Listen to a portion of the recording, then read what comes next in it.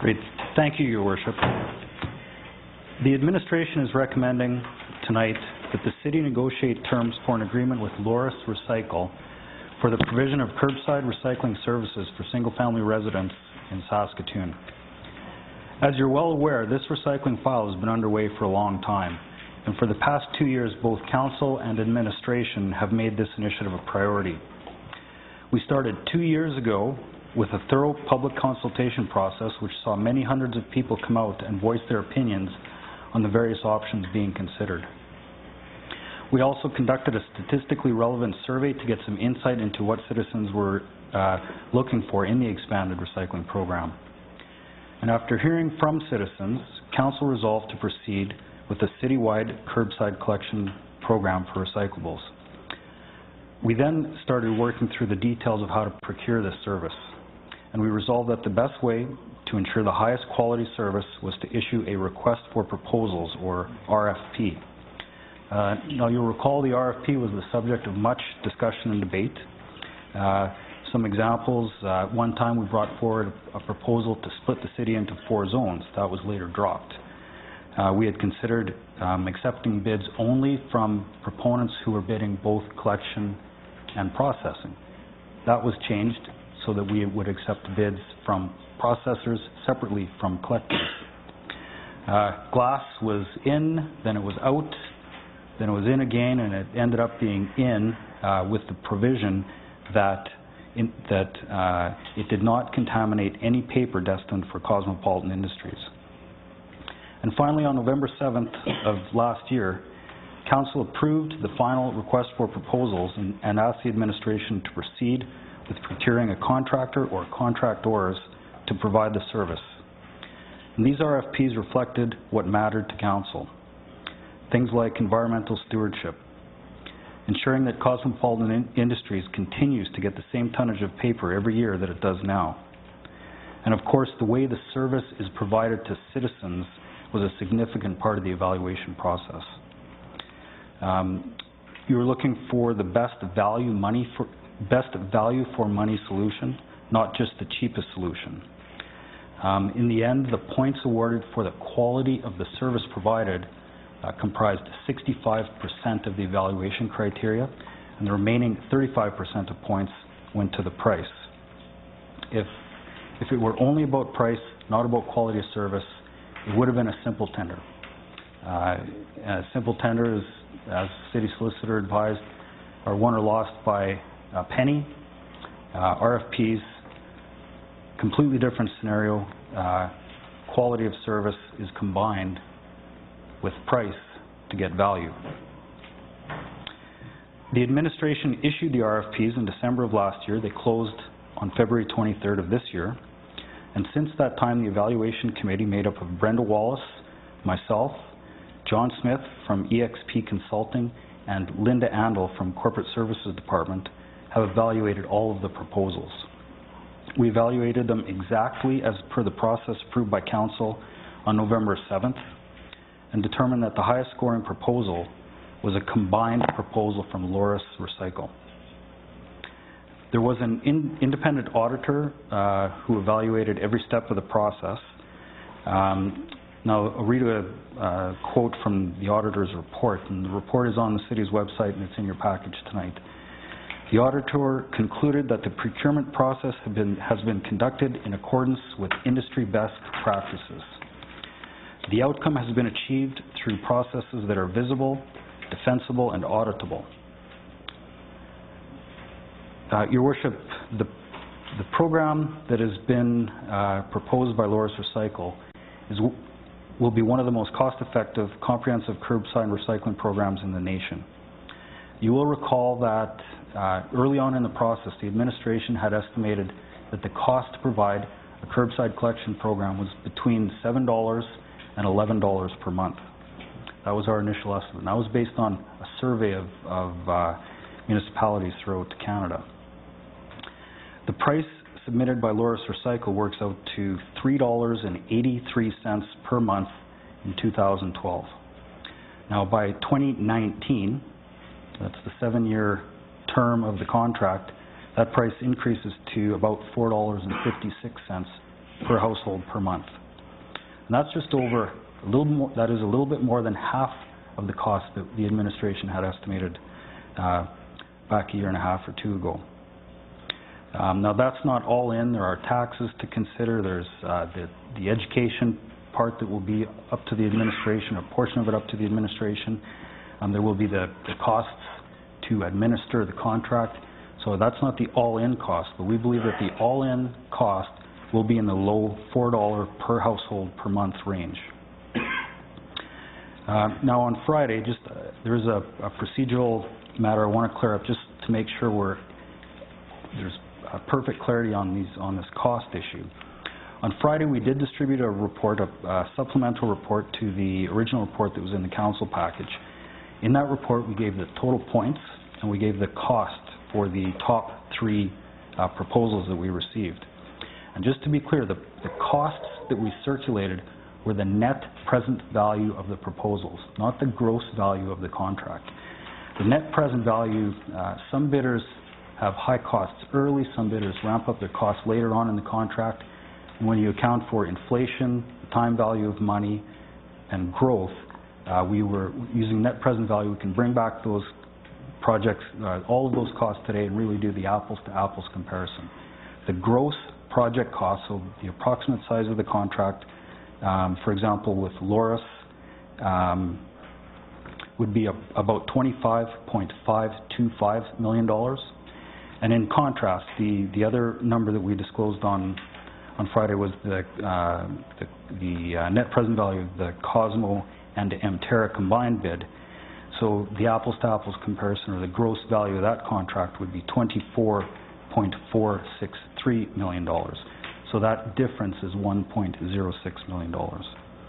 So your worship, uh, Ms. Brenda Wallace is going to step you through some details of the RFP process and the evaluation, and then we'll do our very best to answer your questions.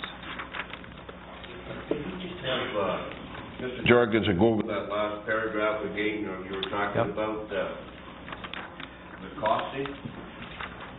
Loud, so we can hear it. Sure, yep. The, uh, the numbers that we released in the supplemental report on Friday, um, Which are those? Which ones are you referring to? Right. On this one here? We've got three of them and about five emails. Okay, thanks, Oh, Mike. I got five. The, uh, yeah, so this is a report that was distributed uh, Friday, was a supplemental part of the council package? Yeah. Number F, it's just called F, recycling request for proposals, additional information. Yep. Additional detail, not, There was only one report that had uh, price. This is, this is, these are the only prices that we've, we've circulated. So in the report that went out on Friday, we gave the net present value of the proposals.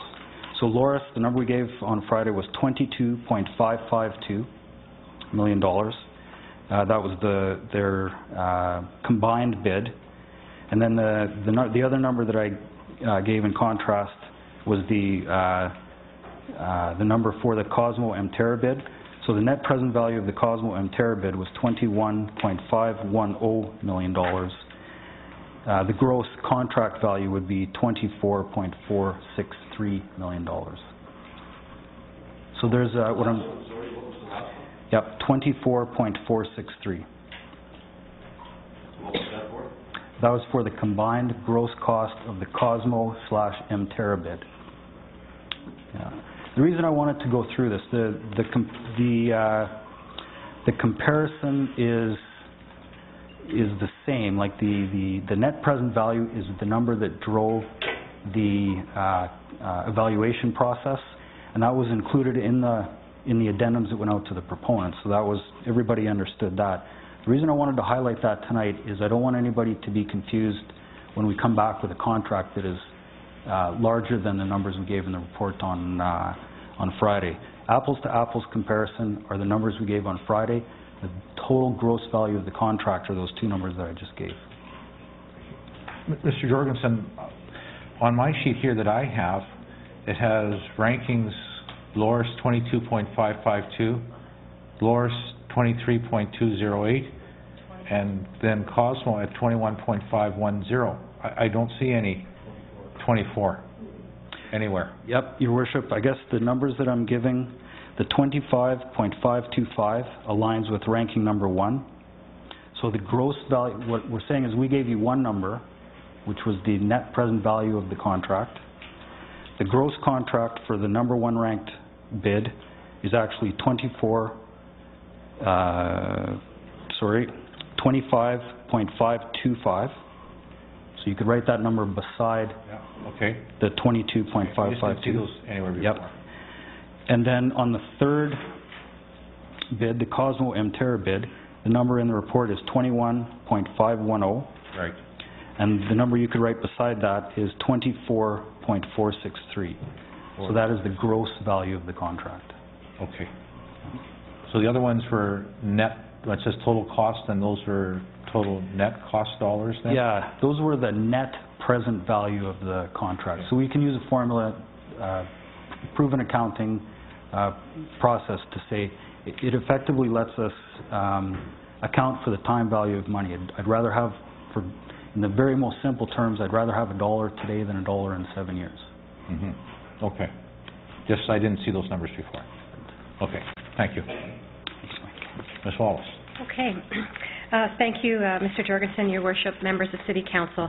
Tonight, administration did want to take some extra time to review both the recycling RFP evaluation process that's behind the results report, but also the additional detail report that, as Mr. Jorgensen alluded to, was distributed uh, late on Friday. There you go. There are two ways for the City of Saskatoon to buy things. One is through a tender, and another is through a request for proposals. In this case, the RFP was selected as the procurement approach over a tender process. While tenders uh, have very specific deliverables that allowed the competitive bid process to focus on the lowest price, RFPs recognize sometimes cities, uh, in pursuit of sustainability, have other equally important objectives. Also, in the case uh, of the recycling, curbside recycling program, we are procuring a service. Um, So things like customer interface, reliability of that service, education of customers about how to use the service, and response to inquiries and complaints definitely matter. Council reviewed and approved the RFP on November 7th. The principles um, that go beyond price highlighted by the RFPs are things like flexibility and outcomes. The collections and processing and marketing RFPs call for the delivery of service for a seven-year term. This matches the typical length of time to amortize the capital required to deliver the program, the trucks, the carts, and equipment at the material recovery facility. This approach to flexibility helps in two ways. It maximizes the opportunity for a variety of bidders to submit proposals, irrespective of being large or small. And it avoids the potential creation of a monopoly, as in theory, all potential bidders are on a level playing field at the start of each contract term. The RFPs also welcomed the expertise and innovation of bidders to indicate whether their program worked best as a single stream, a dual stream, or a modified version of either of these, meaning that glass has been removed. Collection methods could vary from bag to bins or rollout carts. Administration's research on this issue led us to believe that dual stream methods may provide the least cost processing, while single stream methods provide the least cost collection. In this six of one, half a dozen of, the other scenario, where technology and education play such an important role, the city did not pre-select a collection method, but rather let industry, who are in the best position to identify the collection method that best suits the design of their program, identify how their approach would achieve the outcomes articulated in the RFP. Performance outcomes were out- also outlined. These included efficiency, sustainability, convenience, and material diversion itself. And these were described in detail in the RFPs, and the relative importance for collections and processing and marketing was indicated through the allocation of points. And not least of which, cost concerns were also addressed through this process. The budget for the residential curbside recycling program was set using lean but realistic costs based on research of programs locally and across the country. While most communities send out tenders with clear specifications for the delivery of a service that includes gross costs only, and then attempt to gain financial benefits through revenue-sharing agreements later, Saskatoon opted to factor in the fact that rec- a recoverable resource with value is coming out of the end of this program right from day one. This net pricing approach to setting the budget has provided ratepayers with the most cost-effective program in Canada, and well below the costs that will be paid in neighbouring centres like Regina. Further, an affordability ceiling was built directly into the RFP. This ceiling was just that. Bidders submit on the basis of certainty and knew quite clearly that if their price proposal was even a dollar above the established budget, Council would consider its options and an award of contract was not guaranteed. This affordability ceiling was set in 2011 dollars, and the net present value calculation was shared with bidders in an addendum for further clarity. In most RFPs released by the city, the points allocated for price are quite secondary, meaning a range of 20 to 25 percent of, of the points. In this case, to further emphasize the importance, the importance of prudence around price, 35% of the points were assigned to the financial score. And a financial score was assigned based on a formula provided to bidders in the RFPs. After being applied to the individual price submissions provided by bidders, the highest scoring proposals were matched up into a whole program. The financial score was then recalculated such that the lowest price bid as a whole program was assigned the new maximum points for price, and the other prices compared to that new benchmark.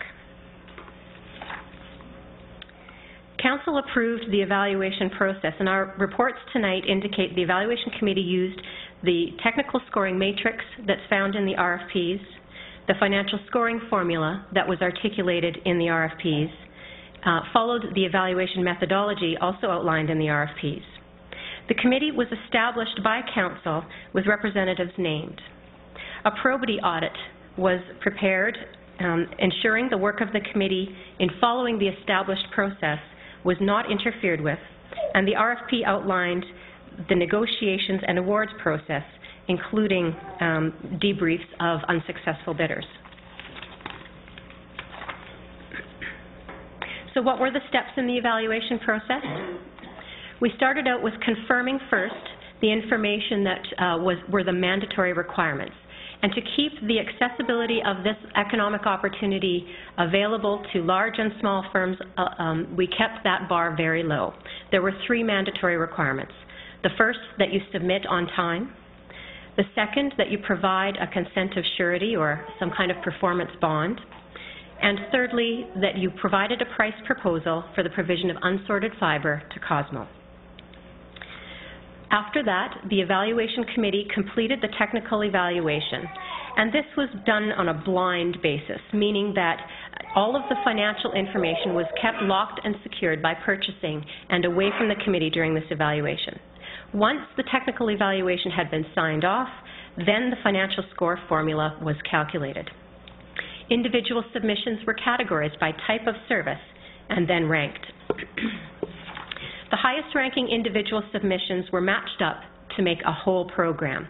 And so that turned into three whole programs that were available um, for us to rescore financially, and those final scores with their prices are what was included in the additional detail report provided on Friday. We provided information about the dual stream, um, the highest scoring program, the single stream highest scoring program, and those proposals that were submitted as a whole program. Lastly, as I mentioned, we did the final score formula calculation again, so that again, preference was given for the lowest um, price submission, uh, looking at a whole recyclable program.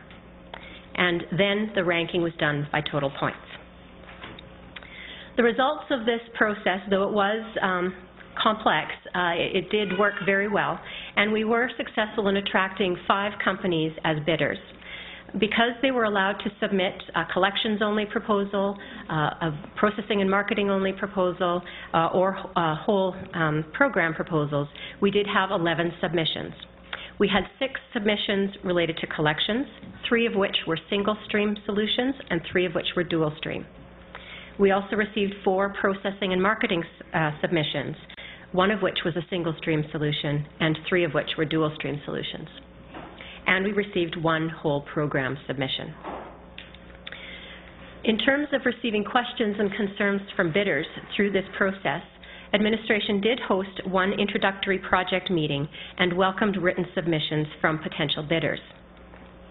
During this period, we did issue four addendums.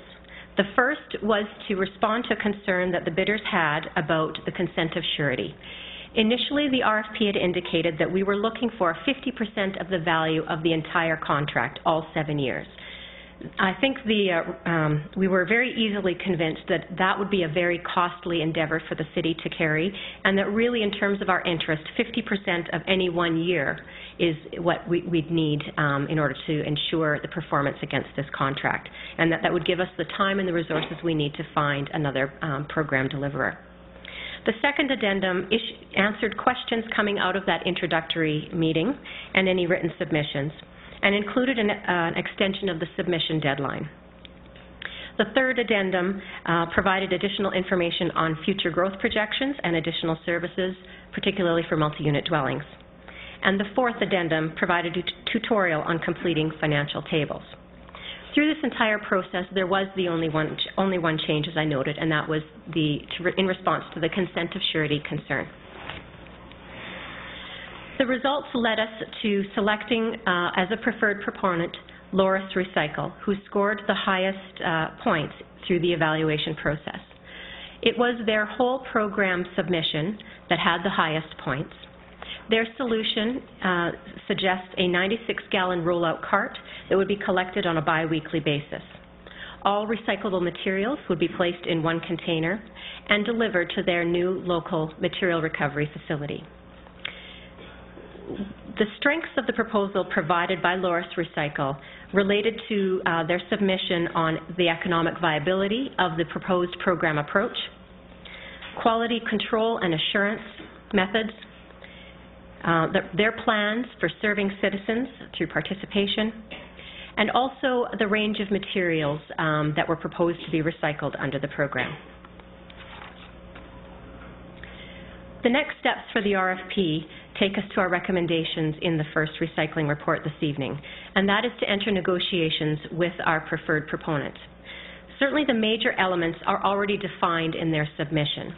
So what is left as negotiables are things like costs related to the city-led education program and whether our plans have any impact on the contractor details on reporting to ensure that what has been promised in the submission can be uh, accounted for through the contract of all seven years and ensure we have program performance.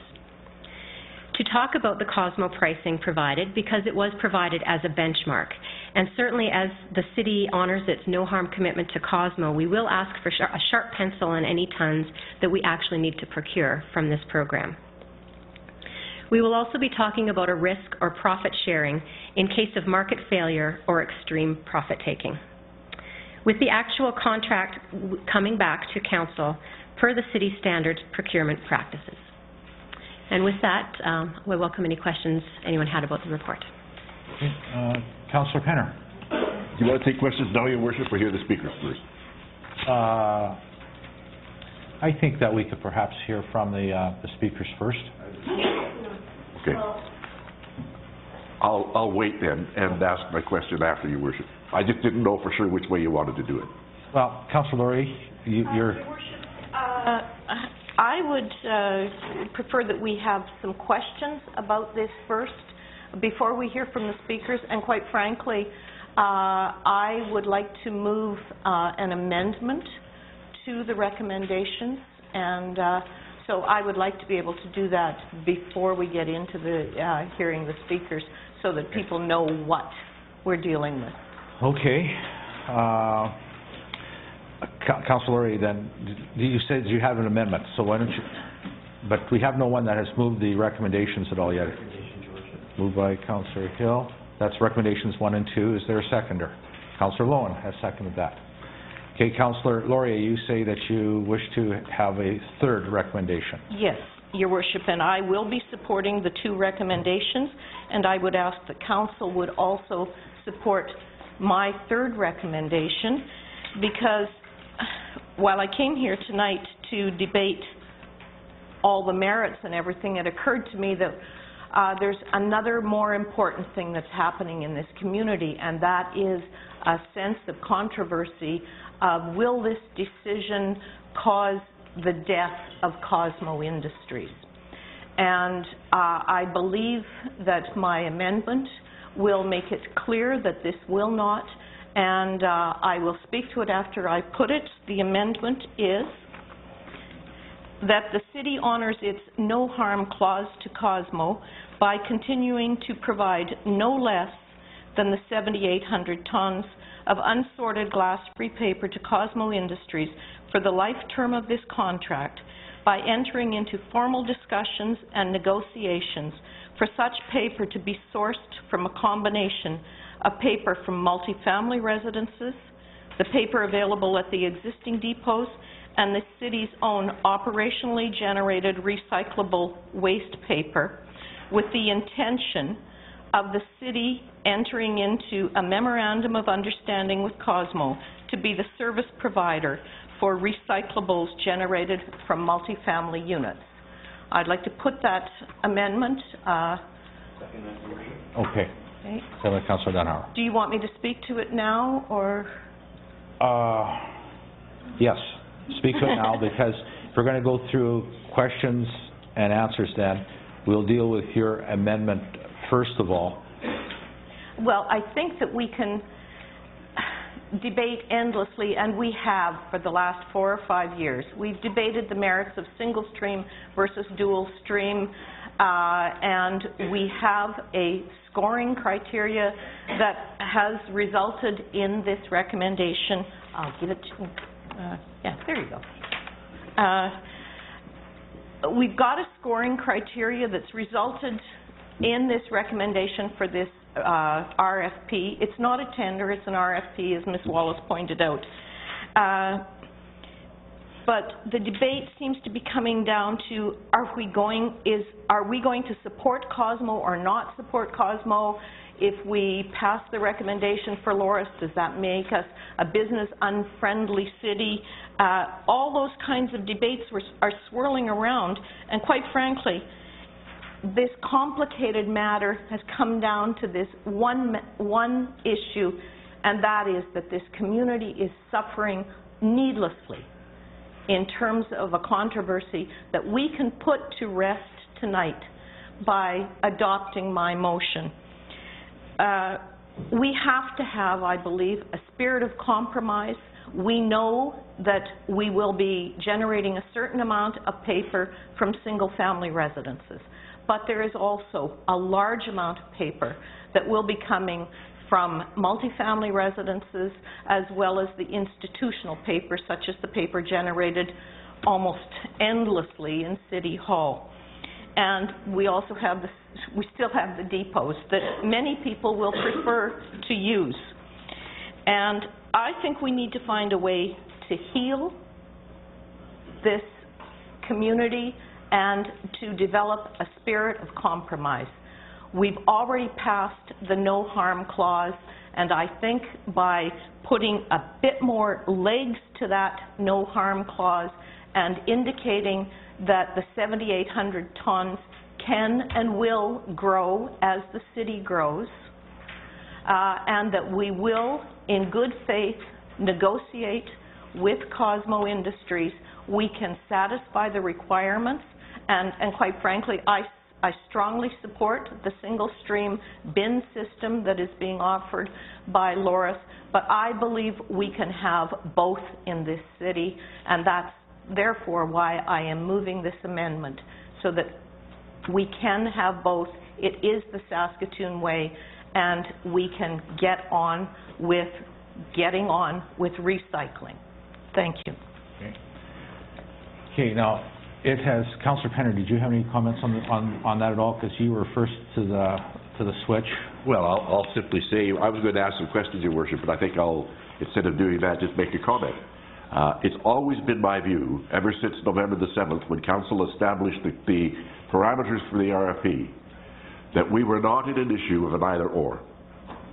uh, we were in a situation where we were going to look at a kind of recycling, but we were not in any way excluding the value of Cosmo to our community. I believed that then, I believe it now. And what I, what I was going to say, I don't think I'll have to say it now again, that I would never, ever do anything that would jeopardize Cosmo.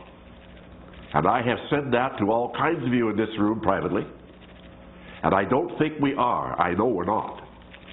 There had been a contract that had been signed between the city and Cosmo guaranteeing 7,800 tons a long time ago. So that's there, and this RFP in no way jeopardizes that.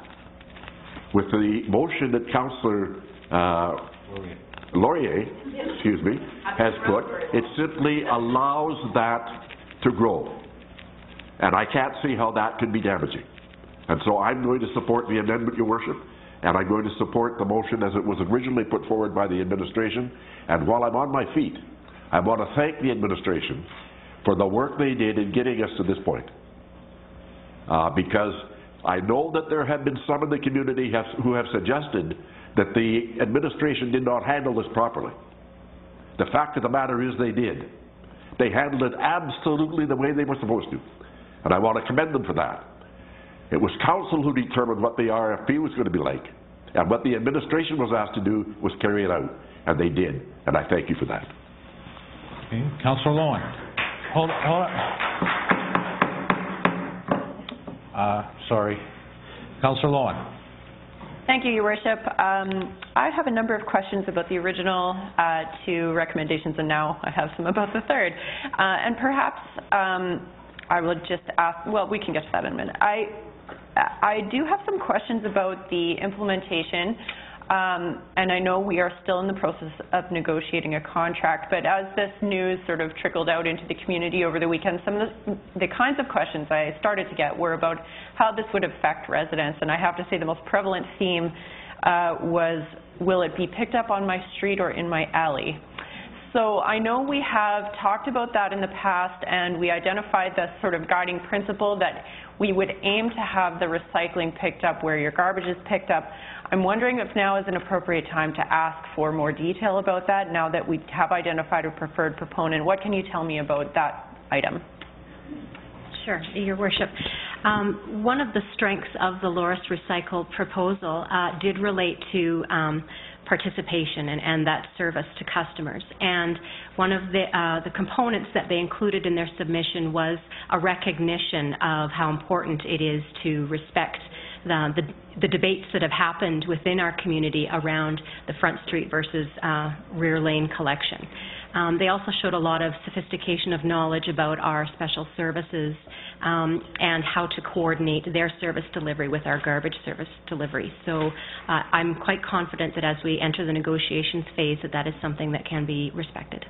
Very good, and I think that will come uh, as very welcome news to many residents of Ward 7. Uh, having had uh, recent conversations about the garbage pickup, I think this is still on, on people's minds. And I think you just touched on my next, my next question, which is, there, it's not a large group, but there is a group of people within the community who receive assistance moving their smaller garbage bins uh, out for pickup because they have uh, mobility issues or limitations with moving their bins. I'm wondering uh, if for those small number of people who have that service from the city, something similar would be offered with the, uh, with the curbside recycling program. Uh, Your Worship, I, I have to admit that that is something that we would have to discuss as part of the negotiations. To be clear about the city's service, however, our special needs service is currently offered to 448 citizens uh, within the city, and it was offered as an interim measure um, for those who may have selected their home in a neighborhood uh, that had a communal container they needed to only take a small garbage bag to versus the need to roll out a cart. And so um, we don't see that as being a long-term program, and uh, whether we would require that of our contractors, subject to the negotiation. Okay, and I- recognize that we introduced that option uh, because we were making a change, but I would, I would uh, follow that this is also a pretty significant change, and so for people who have those issues, I think it would be uh, wise for us to at least explore that opportunity with the proponent, uh, because I think uh, that would ease the transition and um, certainly be much appreciated by that small number of people who do use that service. Um, uh, Just a third question about implementation. I note that the target date is January of 2013, and I know that we are still in the negotiations phase, and you may not have this level of detail, but could you speak to, um, will everyone wake up with a bin on the same day, or is this going to take weeks and months to be implemented as did our uh, transition to the smaller garbage cans? Your Worship, I think it's very fair to say that uh, Loraas Recycle would have a similar uh, rollout uh, logistical issue to, to contend with as the city did in doing the conversion program. And so it would be something that would happen over a period of months. I also wanted to clarify that uh, that January is um, is not meant to be necessarily interpreted as January, but that to reflect the fact that we are quite uh, doubtful that we would get a, pro- a program up and running still in 2012, Right. um, and that it would be in the new year. Yeah, that's, that's fair enough, and I don't want you to have to commit to dates at this stage, but I think people are curious. For one, for one thing, people want to know, should I renew my subscription? And that's a question that we've been getting for months, and so I think that'll be a question coming in, in the weeks to come too, is when can I expect this to be implemented and what should I do with my existing subscription? So all of those technical questions aside, I'm wondering if perhaps the city clerk could reread the amendment, because I didn't catch it all here, and I want to make sure I understand what's being proposed. Your worship, I'd be happy to, and also, um, Ms. Br- Mrs. Bryant is going to put it up on the screen. Oh, You'll be able to great. see that. So Okay, well, if you want perhaps- Wait, and... I will wait to ask questions on the amendment until that's up, and uh, we'll take it from there. Thank you. Councillor Hill. Thank you, Worship. I don't know if the administration will be able to answer my questions until the amendment is up on the screen. It's quite a lengthy amendment. I'm just wondering um, if there are any implications or concerns with regards to cost or operations with this amendment as proposed, or if we're okay to move it. Because we, we don't do anything outside of our budget cycle with regards to any operating costs. I just want to ensure that we're, we're not going to be doing something that we normally wouldn't do. Certainly, I support the intent of the amendment. I was hoping actually Councillor Lorje's amendment was going to be something along the lines of an escalator clause actually for the 7,800 tons, so that with the same percentage growth of the city, so would that percentage growth be for Cosmo, so that they would have the opportunity to grow. Because this council's been very clear from day one about the no harm to Cosmo clause. We've identified that with the guarantee of the 7,800 tons of paper so that they could still process the same paper and still generate the same revenue for their operations to provide the other programs that they do within their facilities. We've been very clear on that. Sadly, I don't think that maybe that has been communicated to the entire community, not only on our part, but on some of the other stakeholders' parts as well, too. That this council has stated from day one, we support Cosmo, the quality programs that they provide. We have never said that we didn't. We have always guaranteed that volume of paper for their operations. If this is going to help alleviate some of those concerns for the participants at Cosmo and their families, most certainly I support it. The last thing we want are the Cosmo participants going home and upset again because they are under the impression that their jobs are going to be removed. That is not what we want. We want to make sure that they have a sense of security, and if this is going to provide that, certainly I can support that. I just want the administration to make sure that we're not doing anything out of our regular procedures here by approving this amendment. Mr. Totland. Uh, Thanks, Your Worship. Just looking at it, I don't see anything that jumps out at me that would cause us any, any real grievous concern. Uh, I mean, there's, there's probably some technicalities that we'd need to work through, but, uh, you know, just reading it at its face, I, I think it's consistent with, uh, with where we were headed with the program in any event. Okay, thank you. Okay, uh, Councillor Donauer. Thank you, Your Worship. I just wanted to uh, speak briefly to Councilor Lorje's amendment. I do support it. That's why I seconded it. Um, That's good. I would just, uh, I would just like to recommend that we vote on the amendment first uh, before we vote on the other two recommendations, and I'd like to move that if possible. Okay, we'll do that because it's an amendment to the motion, so we'll vote on the amendment first, then we'll vote So on... that's normal procedure. Yes, Thank you. yeah, we'll do that. Okay, uh, next is Councillor Heidt. Yeah, just a, a question to, uh, Mr. Jorgensen, because, uh, uh, the, the amendment stating to, to start negotiations, wh- when, when is the city coming forward to put a recommendation in that we start mandatory payment to condo owners and multi-family owners, because presently they're excluded. This includes them into the mandatory payment for, for recycling. When are you bringing that forward? Because this, if you don't bring that forward, this uh, motions mean nothing. Your worship, the, um, the, the, um, the way a municipality handles multi-unit dwellings doesn't have to be the same model and almost always isn't the same model as the single-family, uh, solution. For example, in Calgary, uh, I think their model is you, you don't, uh, we're not gonna, pres- we're not going to force you to have a service, we're not gonna tell you how to have your service, you just need, you need a service of some kind. You can't take your paper, um, to the, you can't put your paper in the garbage, you gotta, you, you need to have some kind of program in place to recycle. Um, a lot of, uh, multi-unit dwellings in Calgary, for example, use, uh, sub, small contractors. So it's created a little industry unto its own, and all the city did was say, you need to have some kind of a service in place. So as far as timing of when we bring forward solutions, um, we'd always said that as part of these requests for proposals, we cast a net with the proponents. We wanted ideas from the proponents. We did get some ideas and, and some costs from the proponents. Um, it's not going to be immediately that we would bring forward the, the multi. We've, we've got a lot of work to do with Loraas first. Uh, if we give, if we're given direction tonight to get the, get the contract negotiated. But definitely 2012, like fall 2012 or late 2012, we will start bringing forward those ideas for you to consider when you're looking at multis. In the meantime, and indefinitely, we still have that contract with Cosmo, and between all of the levers, all of the options we have to source the paper, we will get them the paper that they have. So even if you don't have that solution sorted out by the time we pull the trigger on the, on the single families, um, we will ensure that steady stream of paper to Cosmo. Yeah, well, okay, th- thanks, because what you're talking about in Calgary, they already have here in Saskatoon now, because a lot of the condo associations contract directly with Loraas or other institutions, and I'm gonna, I don't know how you can go in there and, and all of a sudden yank that out and tell them what to do anything with it. And that's what, that's what this motion's all about, deal, dealing with the multis and, and the condo owners.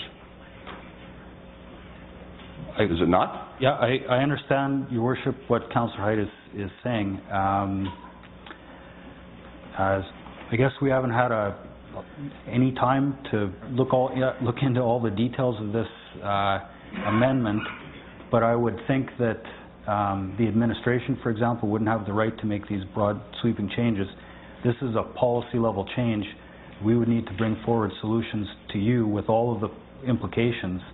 And, uh, I, I think, I think that that is something that is within council's right, is to, is to implement some kind of a program with some restrictions. Okay, I- that's, that's answered my question, because it won't be immediate, that's for sure, and uh, there's an awful lot of consultation. And if you want to have an uproar, just go after the condo associations, because they're quite happy with what they're doing today, in most cases, as I understand.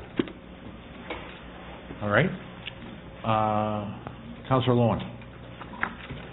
Okay, thank you. Um, I guess before, before I ask a question about this, I, there was, there's one part of this discussion that I don't want to lose sight of, which is that we had made um, an additional recommendation, uh, I believe at our second last recycling discussion, that we would form a committee with uh, industry and, um, and community organizations who work with people with intellectual disabilities to pursue opportunities in addition to what's already being done in the city within the recycling field. And I, I think it's become clear to me in the last few days that that sort of fallen off the radar. And so I'm wondering if there's an update on the progress of that recommendation, uh, if anything has happened, or if we are waiting to commence work on that uh, until after this was awarded. Uh, Can someone in the administration comment on that? Uh, Your Worship, um, in June of last year, the administration was asked to consult with organizations serving people with intellectual disabilities in Saskatoon and to investigate employment and vocational opportunities for this community within the city's range of operations. Now, your administration's approach to this request includes the following steps, and while I go through these steps, I just want to say, your worship, that we are well underway with this task, but it's a very complex assignment, and we're taking a, a comprehensive approach, and it's not something that I'm prepared to rush forward in order to come up with a quick solution. So the steps that we're taking is we are consulting with a broad, spectrum of local organizations that serve and support people with disabilities. We're examining best practices among private and public employers. We're looking, we're trying to determine where the abilities of the target groups and the operational needs of the city have areas of mutual interest. And we're investigating a variety of potential work and vocational models, including contracting work out to vocational workshops, contracting work out to groups that would perhaps come to work at a city job site, and continue to support individual employees in regular or amended uh, situations, job situations. But to conclude, Your Worship, Yes? Um, this endeavor is also being undertaken within the context of the city's existing vision and policy for diversity, which in summary is that our workforce, the city's workforce, will be representative of the entire community or the entire population of Saskatoon. That is our overarching vision. And uh, we expect to be reporting uh, to committee and council in due course, but again, I don't want to promise a quick resolution to this because it's very complex and we want to make sure we get it right. And I should, should also add that within the context of the of the city's role in supporting the overall um, diversity of our community, we have many, while this particular employment um, uh, consideration has been uh, singled out here, this request is made, the city does, the city of, uh, administration and city council support the diversity community in many other ways in terms of grants and uh, abatements and our supportive housing program and so on and so forth. And so within that context, Your Worship, I say we are well underway in this endeavor and we will be reporting in due course. Thank you, Mr. Grauer. That's good to hear, and uh, I look forward to hearing more about that. And certainly, I don't mean to imply that we should have, um, uh, you know, we should know exactly what's going on, but I want to make sure that, that the public remains aware that that's something that we're working on concurrently with these other factors, because I think it is interesting and important uh, work. So just with respect to this amendment, I want to ensure that I'm understanding this correctly because it's kind of a lot to comprehend it in, uh, in this context. Is the implication that we would, um, the, the duration of this potential agreement coming out of a memorandum of understanding would commence as soon as the details are arranged, and then would that run concurrently with a single family? Like, would this be until 2018? Uh, what are you envisioning in terms of the parameters of this arrangement? Uh, Let Councillor Lorje speak to that because it's Councillor Lorje's motion. Yeah, um, my intent, and uh, I believe it's, it's, it's an intention that, that will be accepted by Cosmopolitan Industries, is that the terms, life term of this contract applies equally to the contract that we have with, the current contract we have with Cosmo and the contract that we will be negotiating with Loraas.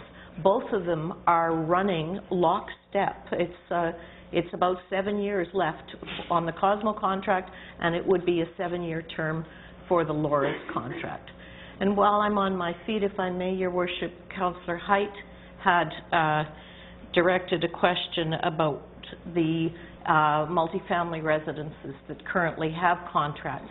I originally, in my original motion, had in place that it, the paper would be sourced from a combination of paper from multifamily residences not under contract with other waste haulers, paper available at the existing depots, and the city's own operationally generated recyclable waste paper when it becomes available, because we obviously would have contracts with shredders and so forth.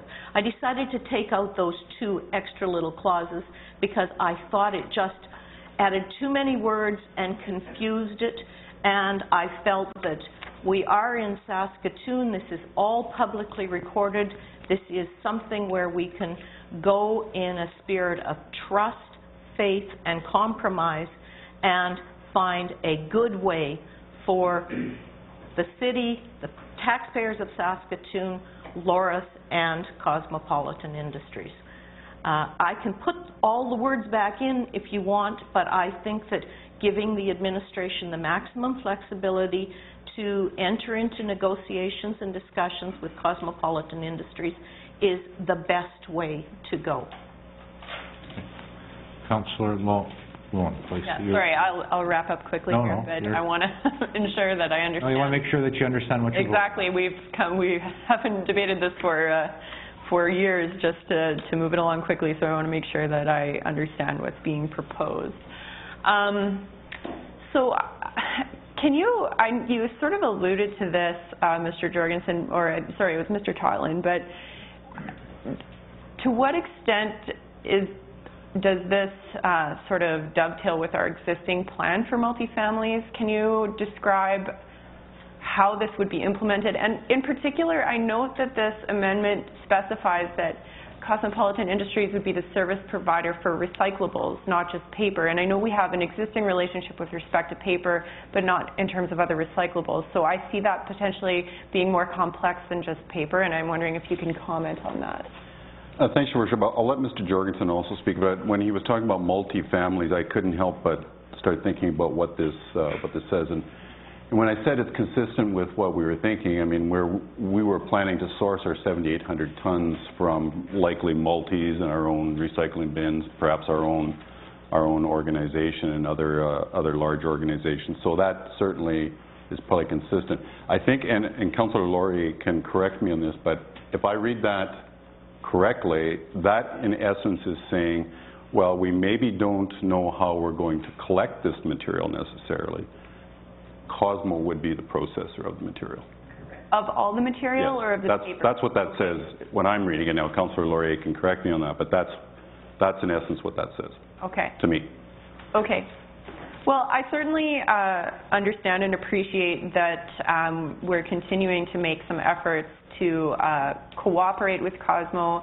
And without question, I have definitely heard from residents uh, that they're not wholly satisfied with the steps that have take, been taken thus far. Uh, I have to admit this is a lot to process at one time. I'm looking forward to hearing more conversation about this, and I will, I'm sure, have some additional questions. But i- it's, um, I appreciate the attempt that's being made here to, uh, to uh, try and work together increasingly in the field of recycling. So I'll look forward to further discussion on this, and I may have further questions later. Councillor Lorje? Thank you, Your Worship, and, and I apologize uh, to council for bringing this on them, but uh, it seemed to me it was important that we find a way. In terms of recyclables, yes, I am very deliberately saying recyclables, not simply paper. Correct. Uh, In point of fact, if you look at what happens with many multifamily units, the amount of glass and tin is minuscule. Because if people put out, mm, for instance, their wine bottles for recycling, they somehow disappear. So it is a low level of, of, of product that is likely there anyway. But uh, it just seemed to me that we should be including the whole ball of wax in this because that's what we're talking about. We want to encourage citizens to recycle all the material that can possibly be recycled. So instead of just calling it paper, let's look at what it really is, the recyclables. Councillor Iwanchuk, please. Thank you, Your Worship. I don't have questions, I have comments. Would you prefer I wait till after the speakers? If, it- if they're just comments, why don't we wait on comments? Otherwise, everyone's going to want to comment now, and then we won't, have heard from the speakers yet. Councillor Hill. Uh, Thank you, Worship. Uh, And Councillor Lorje's comment about wine bottles, I certainly am not putting mine out. Mine go to the scouts in the neighborhood for their bottle drive. But that brings me to one of my questions, and Councillor Heidt's um, comment about uh, multi-units that currently have programs. I just want to be sure that we're not saying that every single multi-unit needs to fall under this program, because there are a lot of private sector business right now that rely on that source of revenue for their operations, and we should not be kicking them out of that business by implementing this. But there are a number, a large number of multi-units that do not have programs. So if we can implement something and further enhance the programming at Cosmo, that's great. In Ward 1, for example, there are two complexes that work with local community associations that they process their recycling in return for the deposits that are, re- uh, that are off of the, the, the bottles and stuff that they take to Sarcan. So it's a great working relationship for them. And I don't want to take that away from the seniors to implement something new that they've already arranged with some of the Scouts and Girl Guides in their neighborhoods. So we have to be very careful that we're not kicking current operations out of their existing business and that we are just opening opportunity for those areas that are not currently recycling. Okay. I have a question for the administration, and that question is to do with the New West Partnership. If we don't sign this agreement before June the thirtieth, it's null and void, because it leads back to the twenty-five thousand dollar maximum, is it not twenty-five thousand dollars that you can, uh, award without going out to tender? Uh, Your worship, you're, you're speaking of This, this uh, motion? correct. Uh, You're, you're right, as of July 1st, I believe, uh, the New West Partnership, and we're only allowed to sole source, I believe, up to $75,000. And I think this is more than seventy-five thousand dollars. This would likely I would amount- suspect that that would This be. could amount to them more than that, yes. So, in other words, this is gonna have to be dealt with at the very last council meeting in June. At the- Otherwise, at the latest, because if it's not, uh, the contract wouldn't be able to be honored because you would have to, in fact, uh, go to a tendering process then.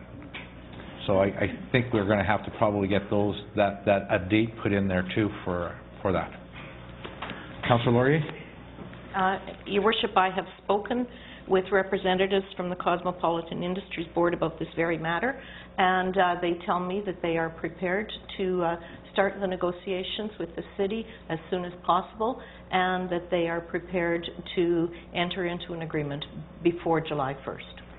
Okay, I just want everybody to know that bef, well, that's here tonight, because I don't want us to get down the road and it gets into August and someone says, well, you know what, that doesn't count anymore. So I just want everybody to have fair warning before we go any further. So there's urgency to this too. Okay. That being said, uh, we have four speakers this evening, and our first speaker will be Peter Gerard, please.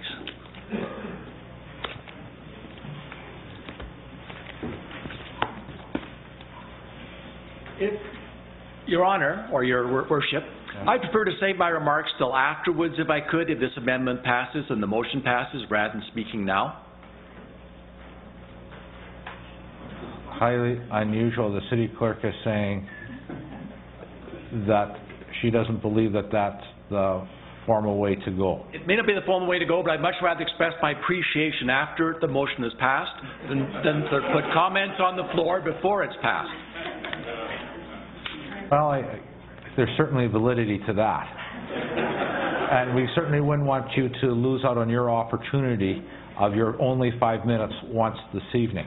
No, I would like my sec, my five minutes or my two minutes afterwards rather than now, please, Your, Your Worship. Okay, well, is there anyone that wishes to, there's four speakers. They are uh, Peter Gerard, uh, where did my list go here right now? Ken Grischuk, Aaron Loraas, and Jim McClements. Do any four of them wish to speak before we vote on this, or do they all wish to hold their peace and all speak after? No, all, the entire, no, no, you don't get to speak after the amendment, you gotta wait, you wait till the end. You don't, you don't get to pick your poison. So, I don't see, Ken Grischuk, uh, what did, are you prepared to wait till the end? Okay. Okay. Aaron Loraas, I saw Aaron Loraas. Aaron? Okay. Jim McClements. Yes, Jim, there you are. I'd like to speak, Okay, but you don't get another turn then. That's fine. Okay. All right. And you've been here before, so you know what the rules are, I finished early last time. and you don't get any credit. I'm sorry. As much as it pains you and me both, but five minutes is five minutes, okay? I'll get you in the parking lot. Okay. Uh, I think this is uh, very well intentioned, but what I do want to talk about a little bit for a moment or two is the impact that this had and potentially still could have unless we find a sound solution that has been proposed here, and it sounds to me like the Board of Cosmos in favor of. Saskatoon City Council and the city have entered into a long-term collaborative agreement about something that's very important. It fits the purposes of council, it fits the purposes of Cosmo Industries, and that's the quality of life of folks with intellectual disabilities. It's been a long-term strong one. It's been torn apart over this last while, and I think it's unfortunate. And I want everyone to understand this, that this has been very devastating, not to me personally, because I have no conflict of interest on this, but the number of people who are here because they're concerned and upset. The quality of life is the primary function of Cosmo. It's named Cosmo Industries, so it's an appropriate label. But it is, in fact, a place that requires special training, special effort to make their quality of life very fine. And this long-term agreement has allowed this city to be a leader in this city, in this province, in this nation, and around the world on collaborative work and meaningful employment for people with intellectual disabilities. But what has been put at risk with this? Well, there are 18 people on the paper line. They ro- rotate through three, six at a time. There's 100 other people at Cosmo who work in recycling in some fashion. And there's 400 people who are served by Cosmo Industries. And there are families for all those and all the staff. And I'd like to suggest it affects everybody in this room. Every citizen of this city is dramatically affected by the opportunity that we provide. And we have to be careful with these solutions that they're not patronizing, because our agreement hasn't been patronizing in the, in the past. It's been collaborative. It's been supportive. It's been a common set of values.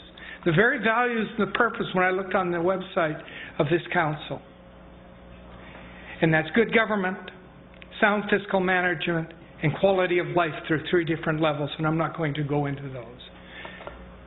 Your worship and council, as we move forward with this, and we're going to have to move forward quickly, I hope that we put at the front of any more, I gotta look up the RFPs in this area, the quality of life and the impact it has on these many good citizens, on the fine businessmen of, who've been on the Cosmo board and in other areas. I think this looks like, it looks like a good amendment, but it's caught me short, as it caught all of you short. I'm not sure what the ramifications are. I'm not sure that this can be delivered, but we need to put a lot of effort. We are the leaders in this area. I know your worship, and I know many of the counselors who I talk to in the street are very proud of this relationship. Let's not lose it. Let's keep quality of life at the forefront of what this council does and what a Cosmo industry does. I think it was appropriate to speak now, not later, to convince you this is a good amendment. Okay, you could tell I was sitting on the fence. Please. I, I appreciate your support for the speaker, and I appreciate that you're in full support, the ones that are clapping and that. But if you could just allow us the opportunity to complete our works here this evening, that would be wonderful. And I know some of you may not have been here before, but uh, as much as we enjoy you applauding us, as opposed to booing us, uh, we, uh, we, we would just prefer that to be able to deal with the business at hand right now. But we thank you very much. Okay. That being said, the other three speakers, if memory serves me correct now, Peter Gerard, Ken Grischuk, and Aaron Loraas have all said that they are prepared to speak after the votes. So that's what we will do then. Councillor Dubois. Your worship, I do have one other question, um, if I may. We're into questions, yeah? And it's in regards to the multifamily, and Councillor Hill alluded to it already, and I, because I've just been thinking that, you know, a lot of um, multifamily residences and condos and things, they already have recycling in place. It's part of their condo fees, and, and I'm wondering, I, I just, and I know, I don't even know if we have the answer to that tonight, because this was just brought forward now, but really, realistically, how will that work? I mean, are are we, will we be, we're not going to be able to go to them and say, your provider can't do this anymore, or you can't do this anymore? I, And so how do we, how, how will, or, or community associations, uh, arrangements like he talked about, how, how do we see that emerging from this? Mr. Totland? Well, Your Worship, I, I think Councillor Dubois hit it on the head. I don't think we know exactly what that is, um, you know, because I think certainly there are multi-sites out there that have their own arrangements in place, maybe contractually, that's maybe true. Some probably don't. Um, I don't think we were ever counting on, say, getting our entire 7,800 tons necessarily from multis. But, you know, I think that's the point of the, the motion is that we'll, we'll have some discussions about how we could potentially go about this. You know, one key point that council needs to remember in all this is that uh, when you, you know, and I guess it's kind of opportune we talk about it tonight. We had the east sector and one of our new neighborhoods before you tonight. Our new neighborhoods are being built on a 50-50 basis with multi-unit to single families. So we're creating multi-unit sites in this city at a very accelerated rate, shall I say. A good point. So there's a lot of opportunity going forward for us as a city to, uh, to take advantage of multi-unit sites. Good, thanks. Okay. Yeah. Can't answer it all tonight, okay? I'm sorry. It's not, it, I, I- don't even know a month from now if we could answer all of that, okay? Um, we haven't spoken to Cosmo, whatever, but I think this might be a step in the right direction. But anyway, we'll carry on here, because Councillor Clark wanted to speak to you, and to have some comment, or not comments, questions. Yeah, just a question, I guess, uh, it's the amendment is what we're focusing on. Uh, So will we then get a, rep- I mean, it's, this is a real challenge that we're, we're both addressing a, a whole new area where the implications aren't clear and being told that it has to be sorted out within two and a half months. Um, So will we be getting a report quite quickly that will help us uh, understand the implications? Uh, And I do want to clarify, so we, are and we're not necessarily saying that, that uh, this is a- uh, going to be all multifamilies. What we are saying is that we are committing, as we have, and as I've, have supported all the way to the 7,800 tons, and what I guess I can agree or understand about the value of this is that a lot of people have said, well, how is that going to happen? We don't think that it can necessarily happen. Um, and so I can see the need to sort of, okay, let's actually put it down. How are we going to do that? And whether or not this is going to require from or someone. But I also, I do want to make sure that we're not uh, imposing a solution on some sectors without at least giving them a chance to hear about it or to know about it. Because in most cases like this, we would at least do some sort of a consultation to let people know that there's some changes happening. Um, so if, as long as that there's some room for flexibility to say we're going to get a report on the 1,700 tons. The multis are going to be uh, that you know intention of looking at how we can use multis as as a as a significant group for that, which I've thought always was one of the uh, options. But we're not we're not by passing this tonight saying we're imposing solutions, but we're exploring and and we're and in the end we're going to come up with the 7,800 at least. Uh, is that what we're saying? Because it's it may, mainly on the uh, the MOU is the one I'm sort of trying to get my head around. I to be think honest. it's, uh, Councillor Lorje needs, I don't think it's fair for the administration to try to interpret Mr. what Cotton's been Councillor working- Lorje is wishing to intend to say. I don't, not meaning to put you on the spot, but uh, Councillor Lorje, you were the one that did bring it forward, so I think it's fair that, I'd like to have... I'll, I'll take a shot, Your Worship. I, I think the intent is for us to begin that discussion, as you said, and I, you know, I, I don't know what this will end up looking like exactly, but I think the intent of the, the motion is, it, it's clear to me. Uh, I think we need to have those discussions, and, you know, uh, by July 1st, I think we'd have to um, come up with some understanding with council and with Cosmo of what this would look like. Um, and, you know, we need to get started on that, I think, very quickly. And as far as seeking direction uh, from council, we would very much be seeking a lot of direction from city council on this. This is a very sensitive issue. Um, I I think council has a, a, a very keen interest in knowing what this looks like, so we would in fact be, see, you know, requesting some very clear direction and involvement of city council on this. I'd- I'd just like to also make one comment. There was a time when we've discussed trade agreements and people ask whether it's valid to have a debate about that, and I remember taking some heat about that. And I, I do, I do note that here we are seeing that there is some impact of these trade agreements on municipal affairs, and so uh, that's why I wanted to raise that back then, but, uh, It it certainly does create urgency, doesn't it? Councillor Lorje. I'm glad Councillor Clark got that shot in. Um, It is my intention in, in passing, or or in putting this amendment, that the negotiations are going to be directed by council. Uh, We're not going to leave the administration out on their own, kind of trying to interpret what it is we mean.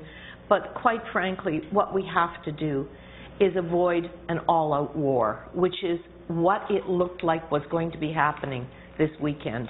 All of us have had our email boxes uh, and, and our voice man- managers stuffed full of uh, points of view, all of them legitimate, and they're all of them diametrically opposite. And it seemed to me that we can and we must, in Saskatoon, avoid having a war on this, because in a war, nobody wins, actually. So this motion is uh, a little short on some details, and I'm, I, I, I applaud my fellow councillors for, for your uh, insight and wisdom in, in zeroing in on, on, on some of these things. Uh, but I think if we go forward in a spirit of compromise and in a good way, we can have uh, an end result that will allow uh, Cosmo to remain in the recycling industry as they have for years and years, will allow Loraas to do the very fine service that they are already providing for many thousands of Saskatoon citizens, and will make sure that we are able to extend the lifetime of the landfill by creating upwards of an 80% diversion rate. All right. Councillor Heidt. Just, just one more thing here. When I first read this, I, I- I was kind of excited, but really, for the life term of the, of this contract, they've already got that. So what's this really doing? They're getting seventy-eight hundred tons. I thought the intent of this motion was to make it into perpetuity, i- in, to as long as Cosmo's was there, that they would get seventy-eight hundred tons. Was that not the intent of the motion? Because they already got seventy-eight hundred tons for the term of this contract. What's the intent of the motion? Just for the life of the contract? Then they already got that. Councillor Lorje. The intent of the motion is to make sure that the no harm clause is operationalized so that everybody knows what it means, what it entails, and to also make sure that we can grow this no harm clause as the city grows. Uh, and you'll notice that my wording says to provide no less than 7,800 tons. I didn't want to say to provide a whole lot more than 7,800 tons because we have to have these negotiations and this discussions. But this is the intent to, to see Cosmo continue its role in recycling and at the same time to ensure that single-family homes have the ease and convenience of the rollout bins uh, that Loraas is provo- pr- proposing to provide. Already, they already have that for the life of the contract, 7,800 tons. I will ask for the administration to answer that. Do they not get 7,800, guaranteed 7,800 tons for the life of the contract? So what is this doing? Absolutely nothing. I thought, it- when I first said it, I thought it was for, for, but this is only for the life of the contract. They've already got that. Uh, That's what I don't understand. Your your worship, I think the key is that this makes Cosmo the processor of, of that material, of the, those recyclables. That's the difference. That don't solve their problems, your worship. Councillor Donauer. Thank you, Worship. Yeah, just, uh, I'm trying to help provide some clarification on this.